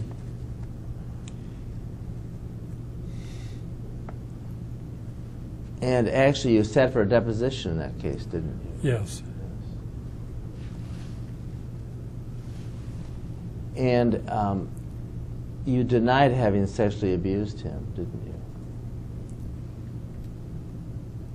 And how I understood sexual abuse, yeah, at that time, yeah. And in 1993, before, um, at the time that you got sued, you certainly denied that you had sexually abused him, and you claimed to have been innocent. Correct?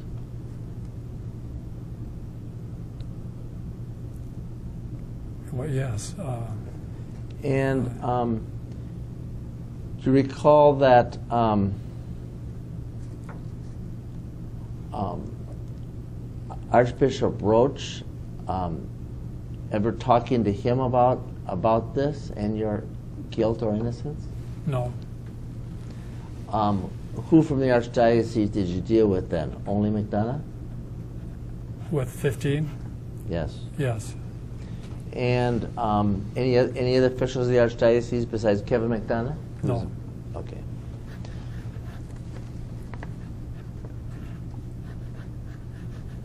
Did uh, Father McDonough tell you to keep it on the down low so the parishioners wouldn't hear or know about of this complaint? He never said that to me. He didn't have to for you to keep it quiet, correct? Well, I wasn't about to advertise it, you know, but he never said that.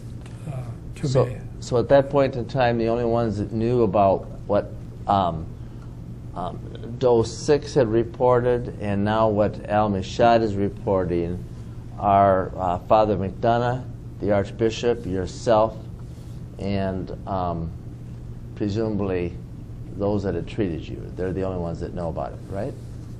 Probably, yeah.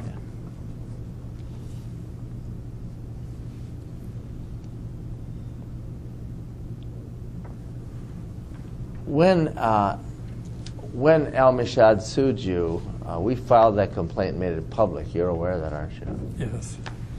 And um, that was the first time the public had ever been informed that you had ever been accused of sexual abuse of a minor, correct? I'm When we sure. made- when Yeah, I made that yeah, public, Yeah. correct?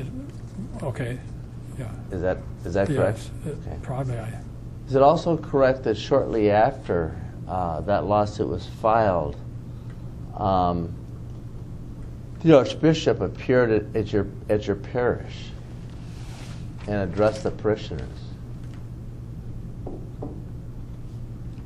I have no recollection of that. Do you recall him, uh, Archbishop Roach, preparing a letter to the parishioners? No,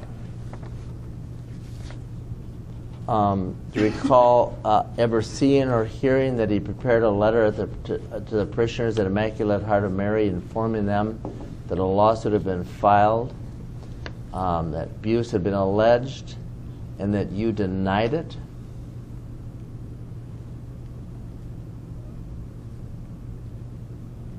yeah, there's a letter, but uh, I know it became public, Okay. and I denied it Okay. publicly. The Right. fact that you denied it and you were claimed to have been innocent became public also, Yes, didn't it? Yes, yes.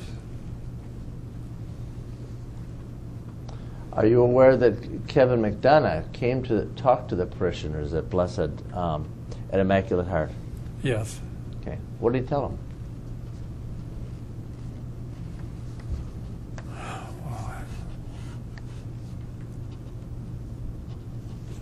I forget. I, I really I can't remember.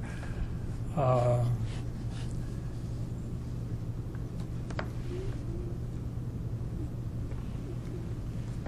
he just told about the complaint. I mean, you know, se- sexual abuse complaint, and He also told him that, uh, that there was no evidence that you had committed that, correct?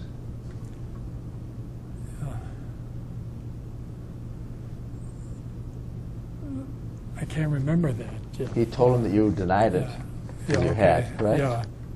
And he told him that you were innocent, didn't he? Yeah, yeah, probably. I, I can't remember uh, what he said. Did he Oh. ever tell them that you had been accused of similar conduct before by others, going back to 69?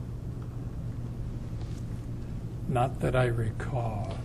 He Uh, told. He, uh, were you finished? I'm sorry. Yeah. Okay. Uh, He also told him, didn't he, that actually this lawsuit uh, um, had been brought claiming sexual abuse, but the facts as reported by you and reported to him, the, the, to the parishioners, was that this happened in a pool, and there were 70 others in the pool, and the, and, and the plaintiff uh, wasn't a parishioner, and the and the plaintiff had no prior relationship with you, and he kind of made the case to those people that you hadn't done this, didn't he?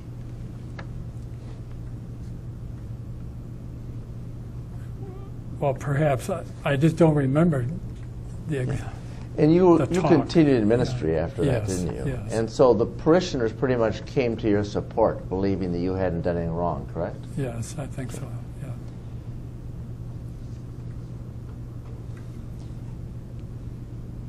And do you recall that um, Archbishop Roach, um, at some point in time, communicated to the parishioners and proclaimed that this kid, now adult, Al Mashad, was actually lying when he claimed you claimed to have been sexually abused by you? I don't recall that. Okay.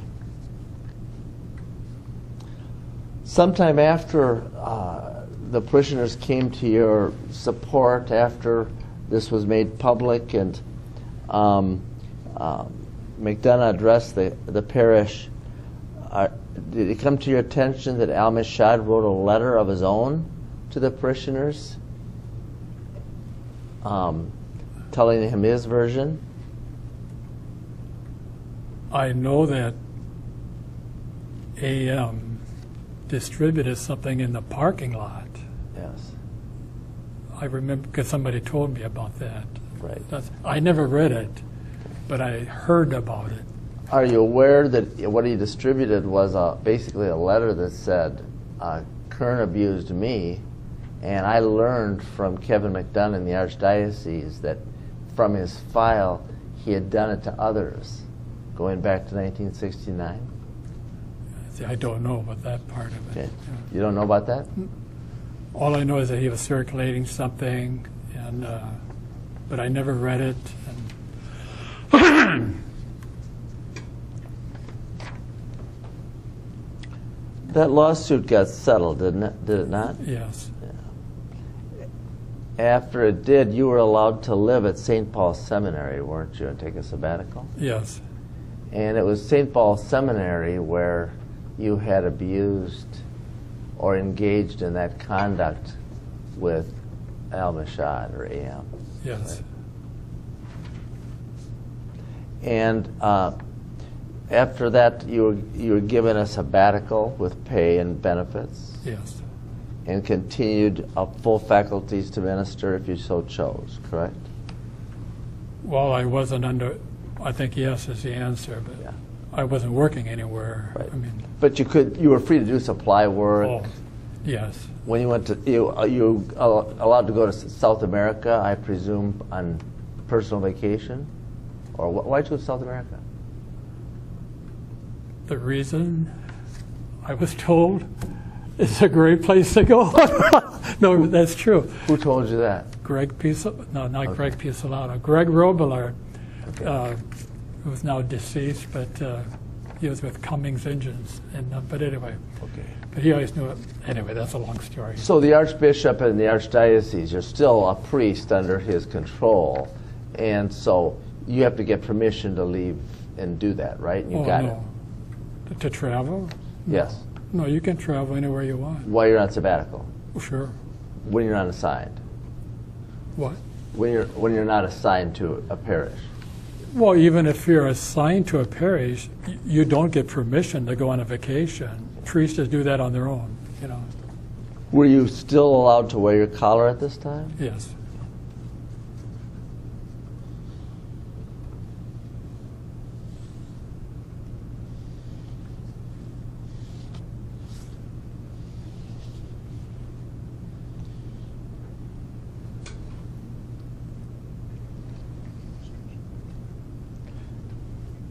Any restrictions um, imposed on you by the Archbishop or Father McDonough that you're t- to not have any contact with youth?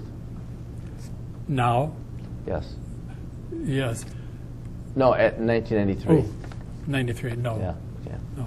The first time restriction was imposed was ni- was 2002, wasn't it? Yes. And so um, I took your, or one of my colleagues took your deposition in 1994, didn't he? You remember sitting for something like this? Yes. Yes.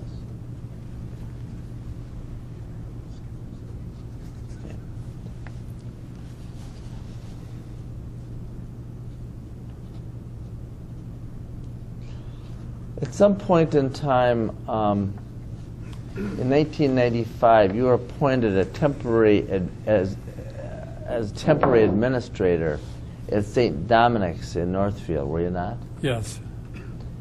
And do you know why you were made a temporary administrator by the archdiocese as opposed to associate or pastor?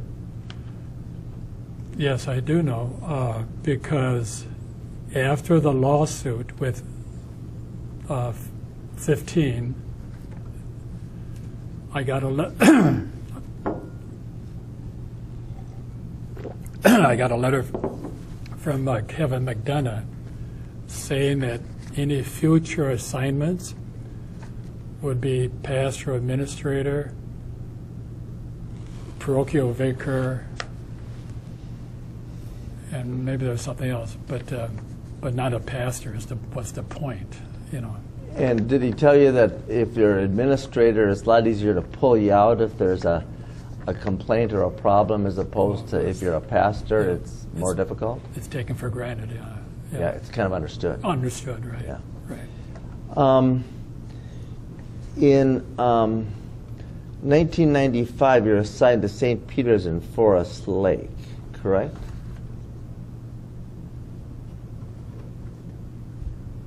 Oh, by the way, did they tell anybody at the at uh, St. Dominic's in Northfield why you're being called temporary administrator versus pastor? I don't know what they told the parish, you know, I wasn't part of that, you know. What about the staff? Any of the staff know why that was so?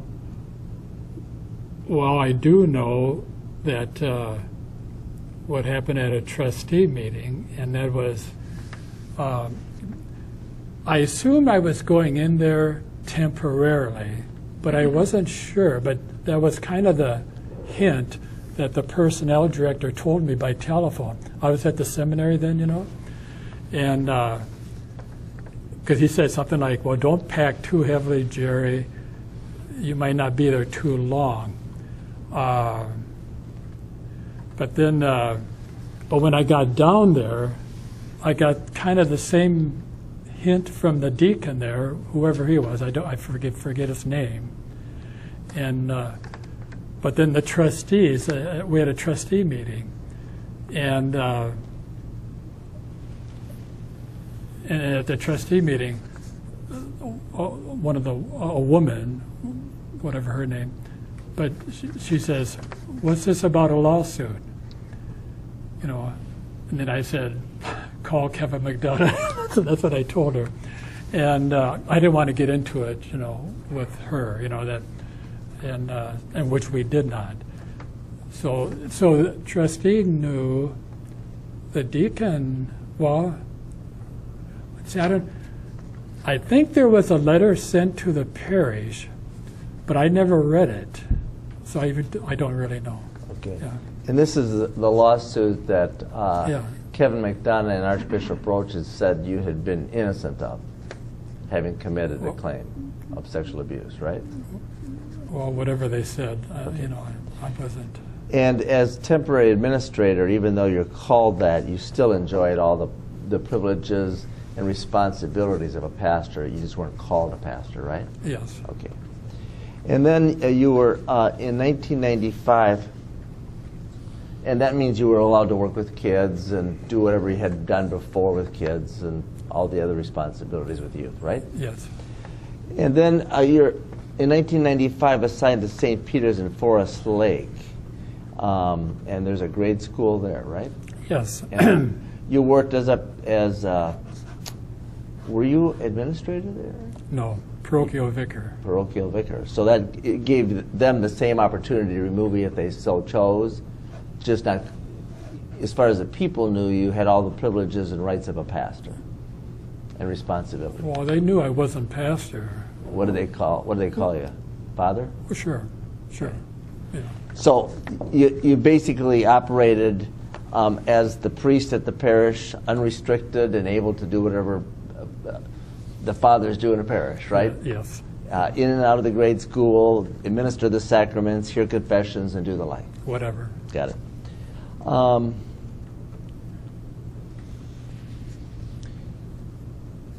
in 1996, um, at, at, at St. Uh, Peter's in Forest Lake, has anybody told about um,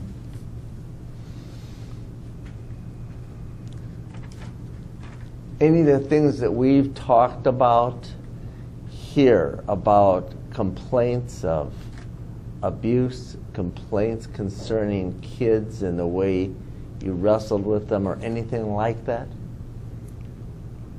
in the parish? The parish was told, you know, something, and uh, By whom? Kevin mean, What do you know they were told? well, that's, like in a written form, for example, I don't know. I mean. Well, uh, in any form. Well, let's see. I can't remember this. Kevin came out to St. Peter's Church, and uh, I forget what he all said, though. I mean, uh, but he said something. And uh, was it on Sunday? I forget. Uh, but the parish was informed. I forget all what, what was said, though. I mean, I don't know. I don't know. You'd have to ask Kevin. Were they informed that you had admitted to having touched the genitals of Al Mashad under oath? Or any kid? Well, they didn't speak like that. I mean, uh, Well, did they say that you had a history of sexual abuse or pose a danger of harm or give them any warning that you could hurt a kid? no. Uh, And in fact, in your deposition, you had admitted to having touched the genitals of, of him uh, outside a swimsuit, had you not? Under oath. That is Al Mashad. yeah. It's just that I thought of sexual abuse differently. Yeah, know. well, you didn't see the sexual abuse, but you admitted having touched his genitals, right? Well, just a brush. Yeah, but In any case, uh, the people at uh, St. Peter's in Forest Lake didn't know that, right? And weren't told it. By you? yeah. Or anybody no, else, as far as you know, correct? As far as I know. Yeah. Okay. Um, in 1969, Father McDonough, um, excuse me, in 1996, after having been assigned to St. Peter's and Forest Lake in 95, did he engage you in, in, in, and have you go to St. John Vianney in some way? Do you know St. John Vianney? Were you sent there? No. Were you? Um, it's also called the Andros Center. Did you have some involvement with them in '96? No. Okay. Do you recall having been sent to any place else in 1996? 96. Yes. Yes, I went Where? Philadelphia. Okay. What for? They just asked that I do an evaluation. Kevin did. And you didn't know the reason, and you weren't told. I assumed it was about this whole topic, you know. Yeah. Concerns about sexual conduct towards youth. Mhm. Well, be a, while a priest, right? Yes. Okay. And uh, before you were sent there, um, what were you told about? Uh, were you asked by uh, Father McDonough? Was it McDonough that sent you there? Yes. Under the authority of the Archbishop. Yes. Okay. And how long were you there? About a week, maybe. And did you understand that the information they compiled would be shared with the Archdiocese officials? Yes. And um, did you ever hear uh, or read what their findings were?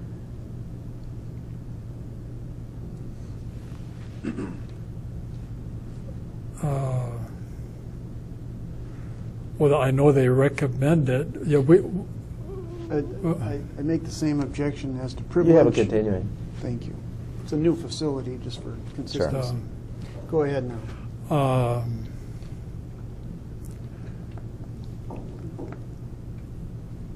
uh, I'm tired. Um, Do you want me to repeat the question? no, I th- no, the findings you're talking about. Yeah, about. the question i- Yeah. the question is- is, no. Did- yeah, no, I got it. I think. What were you told about the findings that they made? Yeah.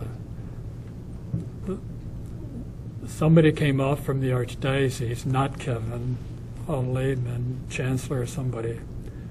And then we got together, um, that Dylan, or whatever his name was, um, and uh, got together with a representative from there and myself, and and they just said they thought it'd be good if I just got some therapy, you know. Did you? No, And that was Fallon, wasn't it? F A L L O N, the Yes. chancellor then? yeah, yes, Okay. And he was a non-cleric. yes. And um, were the parishioners told uh, that you were going to Philadelphia for th- this evaluation? I don't think so, but I don't know. You know sometimes things happen when you're not there, you know.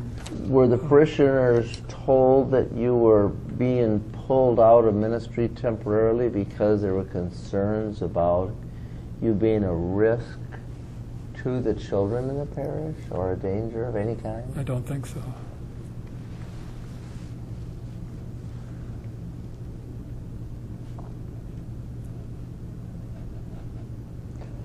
Um, it, the records reflect that on February 28, 2002, when Boston had exploded and the bishops meet for the Charter for Protection of Children, and there's all this um, going on in the public. Is it correct to say that at that time you were asked to, to resign um, in public ministry? Yes, And was that were you told that um, in effect because uh, there was concern that your past could become known, and um, the archdiocese didn't really want that made public? well, they didn't talk like that, the way you're How did they- how do they talk? insinuating. Yeah. Uh, you like to say things a certain way. uh, what, what, say the make it Tell- shorter. tell You don't have me- to do it as a long. Tell me what you were told then about why you were taken on a ministry, and um, and the reasons you were given for taking you out of active ministry in 2002. Uh, uh, because of the whole Boston thing, that it was, you know, Scandal. spreading across the country, da da da, and uh, they just thought it'd be better if, you know, I no longer worked, and uh, Tell you it would look better to have you not active in a parish, right? Given your history, well, they didn't use those words. Yeah, is that what was implied? I don't know what was implied. I mean, I, I can't. Well, you're the one that heard it. You're the one that said it. right. And so they took you out for a reason, and they gave it to you. Yeah. And so it was clearly an attempt by them, was it not, to make Yeah. sure that what they had been known and documented about you and your Yeah. history um, not be widely publicized and the scandal would not be made worse, correct? Mhm. Yes. Um,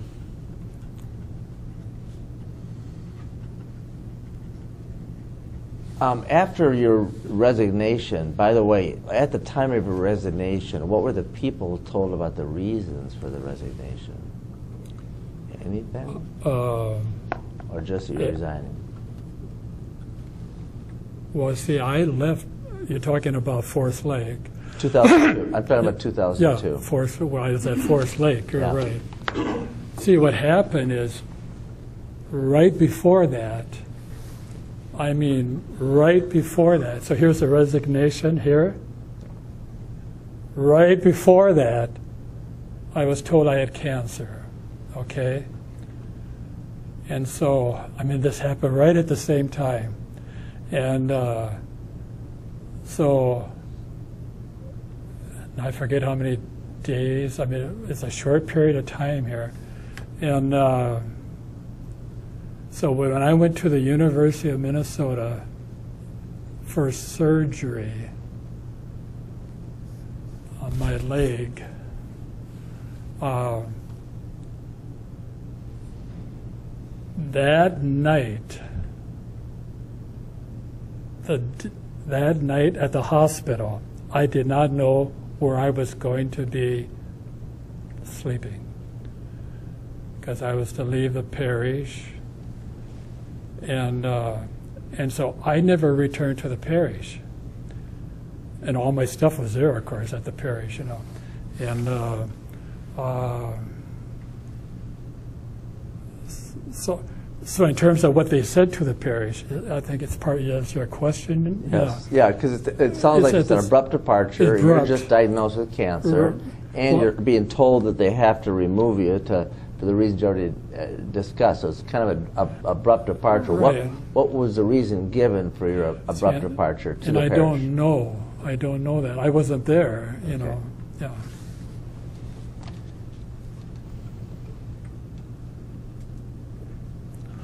Af- After that resignation, have you done uh, help out work and supply work at various places? No, Not at all. not at all. Have you worn collar? Nope. No. In 2004, uh, um, were you aware of whether or not any action was taken concerning you and uh, your status as a cleric with the Vatican and a letter having been sent to the congregation for the doctrine of the faith? No. Do you think about that? No. Has any effort ever been made to remove you from the clerical state by your superior and your boss, the Archbishop, currently presiding as Archbishop Nienstedt or his predecessors? No. At some point in time, were you told that you were placed on monitoring by the Archdiocese and that you were to have a monitor? Well, the Palms program, whatever it's called, uh, I'm, I'm not sure of the title, you know. But uh, yeah, this happened. Uh, uh, I forget the year. Um, but yeah, this guy comes out. It's a quarter quarterly thing even though a couple of times it's been seven months, seven months instead of, instead of four months, three months. You know, like when they changed personnel and that, and Kevin could not find somebody and all that. Uh, but it basically, you want to know what it says? Well, let me ask you a Or- question, and we'll. Um, so it's it, it, at some point in time, you are informed by Kevin McDonough, under the authority of the Archbishop, that a decision had been made to put you into a, a program you call you called the Palms program. Something like that. Palms, P O M S, right? What is it? Palms, P O M S. Or maybe. Uh, Does that sound right? yes. Okay. Close. And uh, does that sound like that was about 2007 or 2008 in that time frame? hmm Yes. About seven years ago. About. Okay. mhm. And what were you told at that time as to why you were put into that program and required to comply with or participate in it? What do you remember they, about what they told you? Well, they just said they're going to do it. I mean, uh, Going to do what? this monitor thing, you know, Okay. and uh, uh, I, I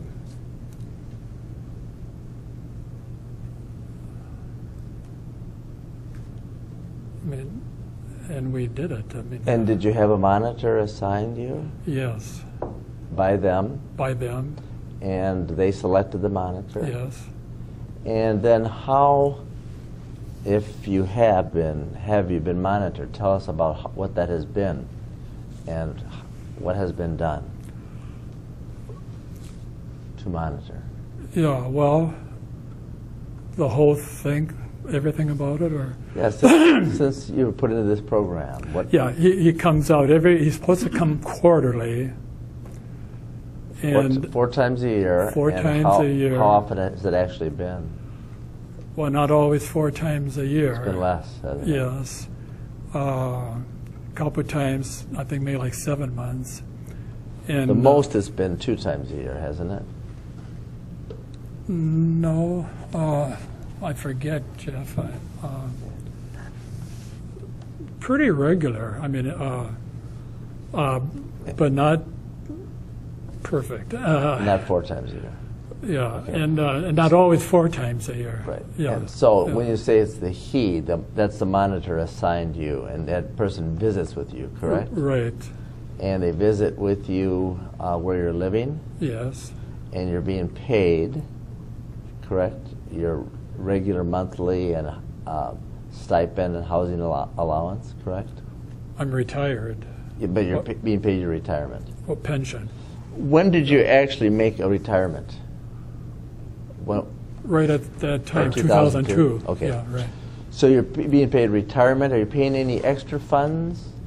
No, but Just just pension and my social security. and housing? No, No housing. no, I wish. Okay. Um,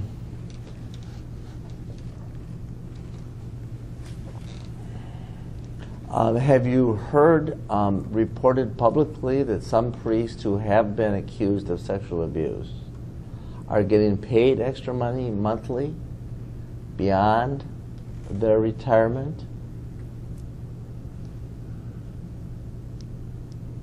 Like Father Capone? Did you hear about that? No, I didn't. Okay. But Okay, but So- you didn't you didn't receive any extra money. not a penny. Okay. Yeah. Um, so tell me then, um, when the monitor would come to you, um, how long would be those meetings? About an hour. About an hour. Okay. And are you still in that program? Yes. And they'd ask you how you're doing, and they'd ask you if you're offending against any kids or doing any of the kinds of things that got you in trouble before, right? Right. And you'd say no, right? Right.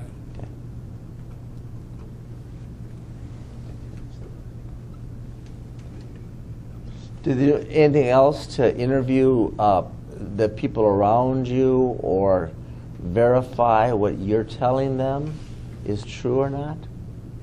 That is the monitors. Say that again. The, when the monitor comes out and talks to Yeah. you and asks you, "Have you been doing any of these things that got you in trouble before?" and you say no, do they check with anybody else to make sure you're telling the monitor the truth about what you're doing and not doing, such as those you live with, such as those you work with, such as those that know you, or anything like that? Well, I don't know who they talk to. You Okay. know, I really don't. As far as you know, they As don't talk to anybody know, else. Yeah. Okay.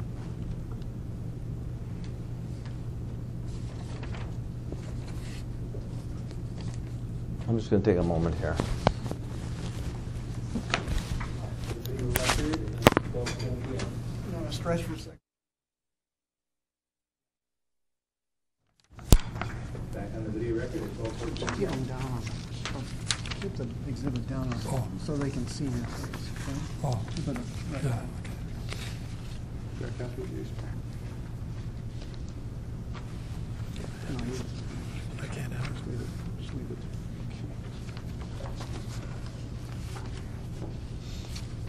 I'm going to go back for a moment, Father, to the uh, facility you're sent to in Philadelphia by the Archdiocese. Uh, I don't think you identified the facility. I have, the, I think I have the name for it, but do you remember the name of it?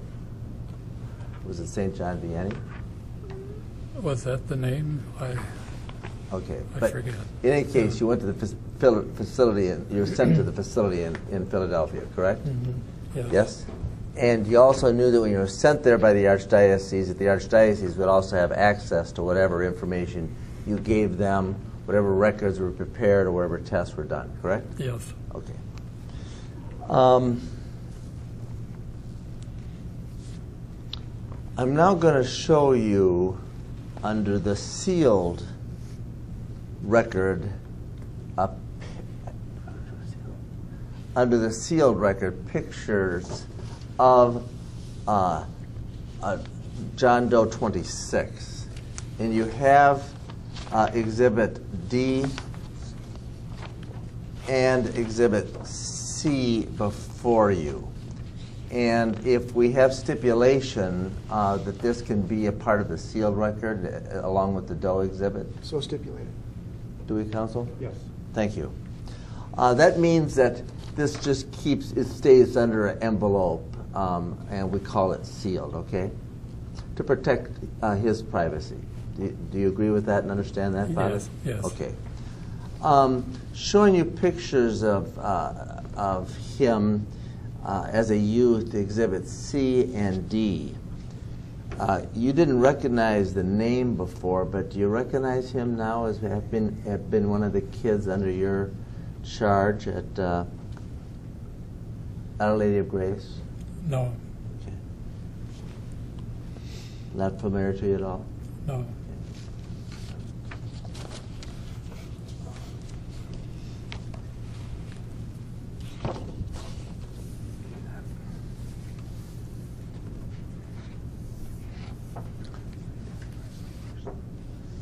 Um, when you, one point when I was asking you about engaging in sexual contact and making contact with the genitals of, of youth, you described wrestling, and at one point in time I've seen you described that kind of wrestling, wrestling as Italian wrestling.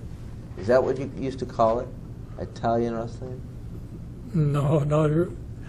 Where did that come from? Well, that's, I'm wondering the same question, you know, really. And I think it's because I came back from Italy.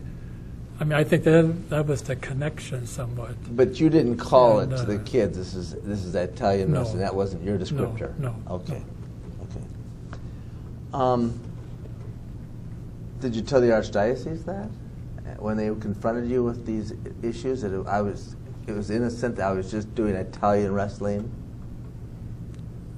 I forget if I used that word. Uh, what,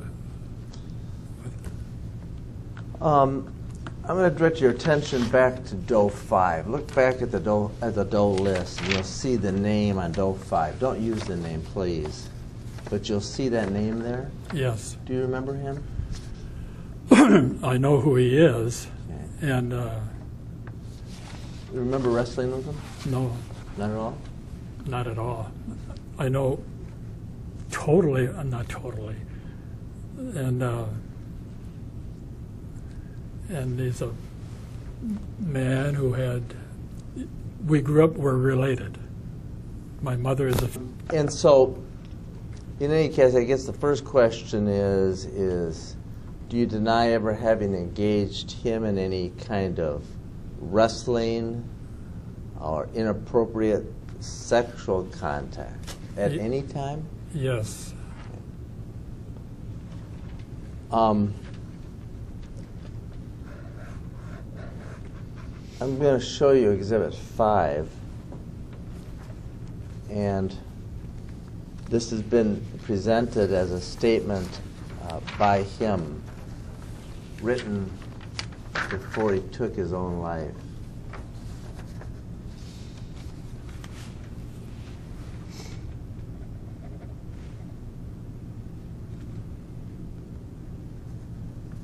He states the past will always haunt you, its power makes you weak and frail. Thoughts of it will never escape you, for it covers your emotions with a veil. All you need is a moment's respite, but the chance will never arise, for the past is a powerful enemy, despite the fact it dwells inside. Take the chance to expel it, drive it away from your thoughts. Get it out in the open, for your future is in its grasp.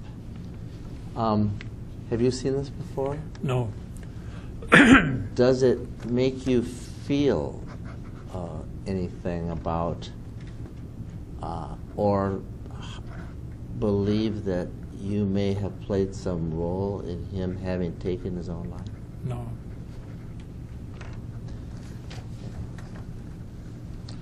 I think that's all I have, Father.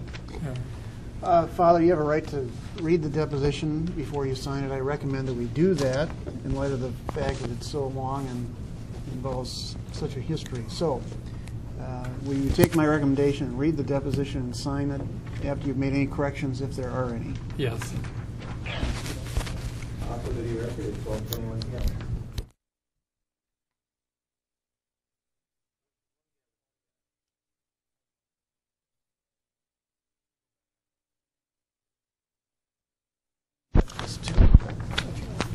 Back on the video record. Sorry, at just about done. PM. Uh, there was one guy we forgot to ask you about, and it's been written in there as John Doe 20.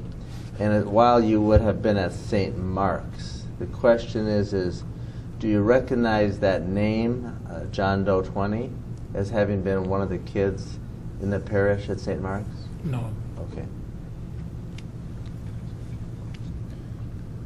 Do you uh, have any memory or belief that you engaged in wrestling with him, genital contact, or sexual abuse of him? no, Do you deny that you did? yes, Okay, That's all, thanks. Again, you'll read and sign, yes, Father? yes. Off the video record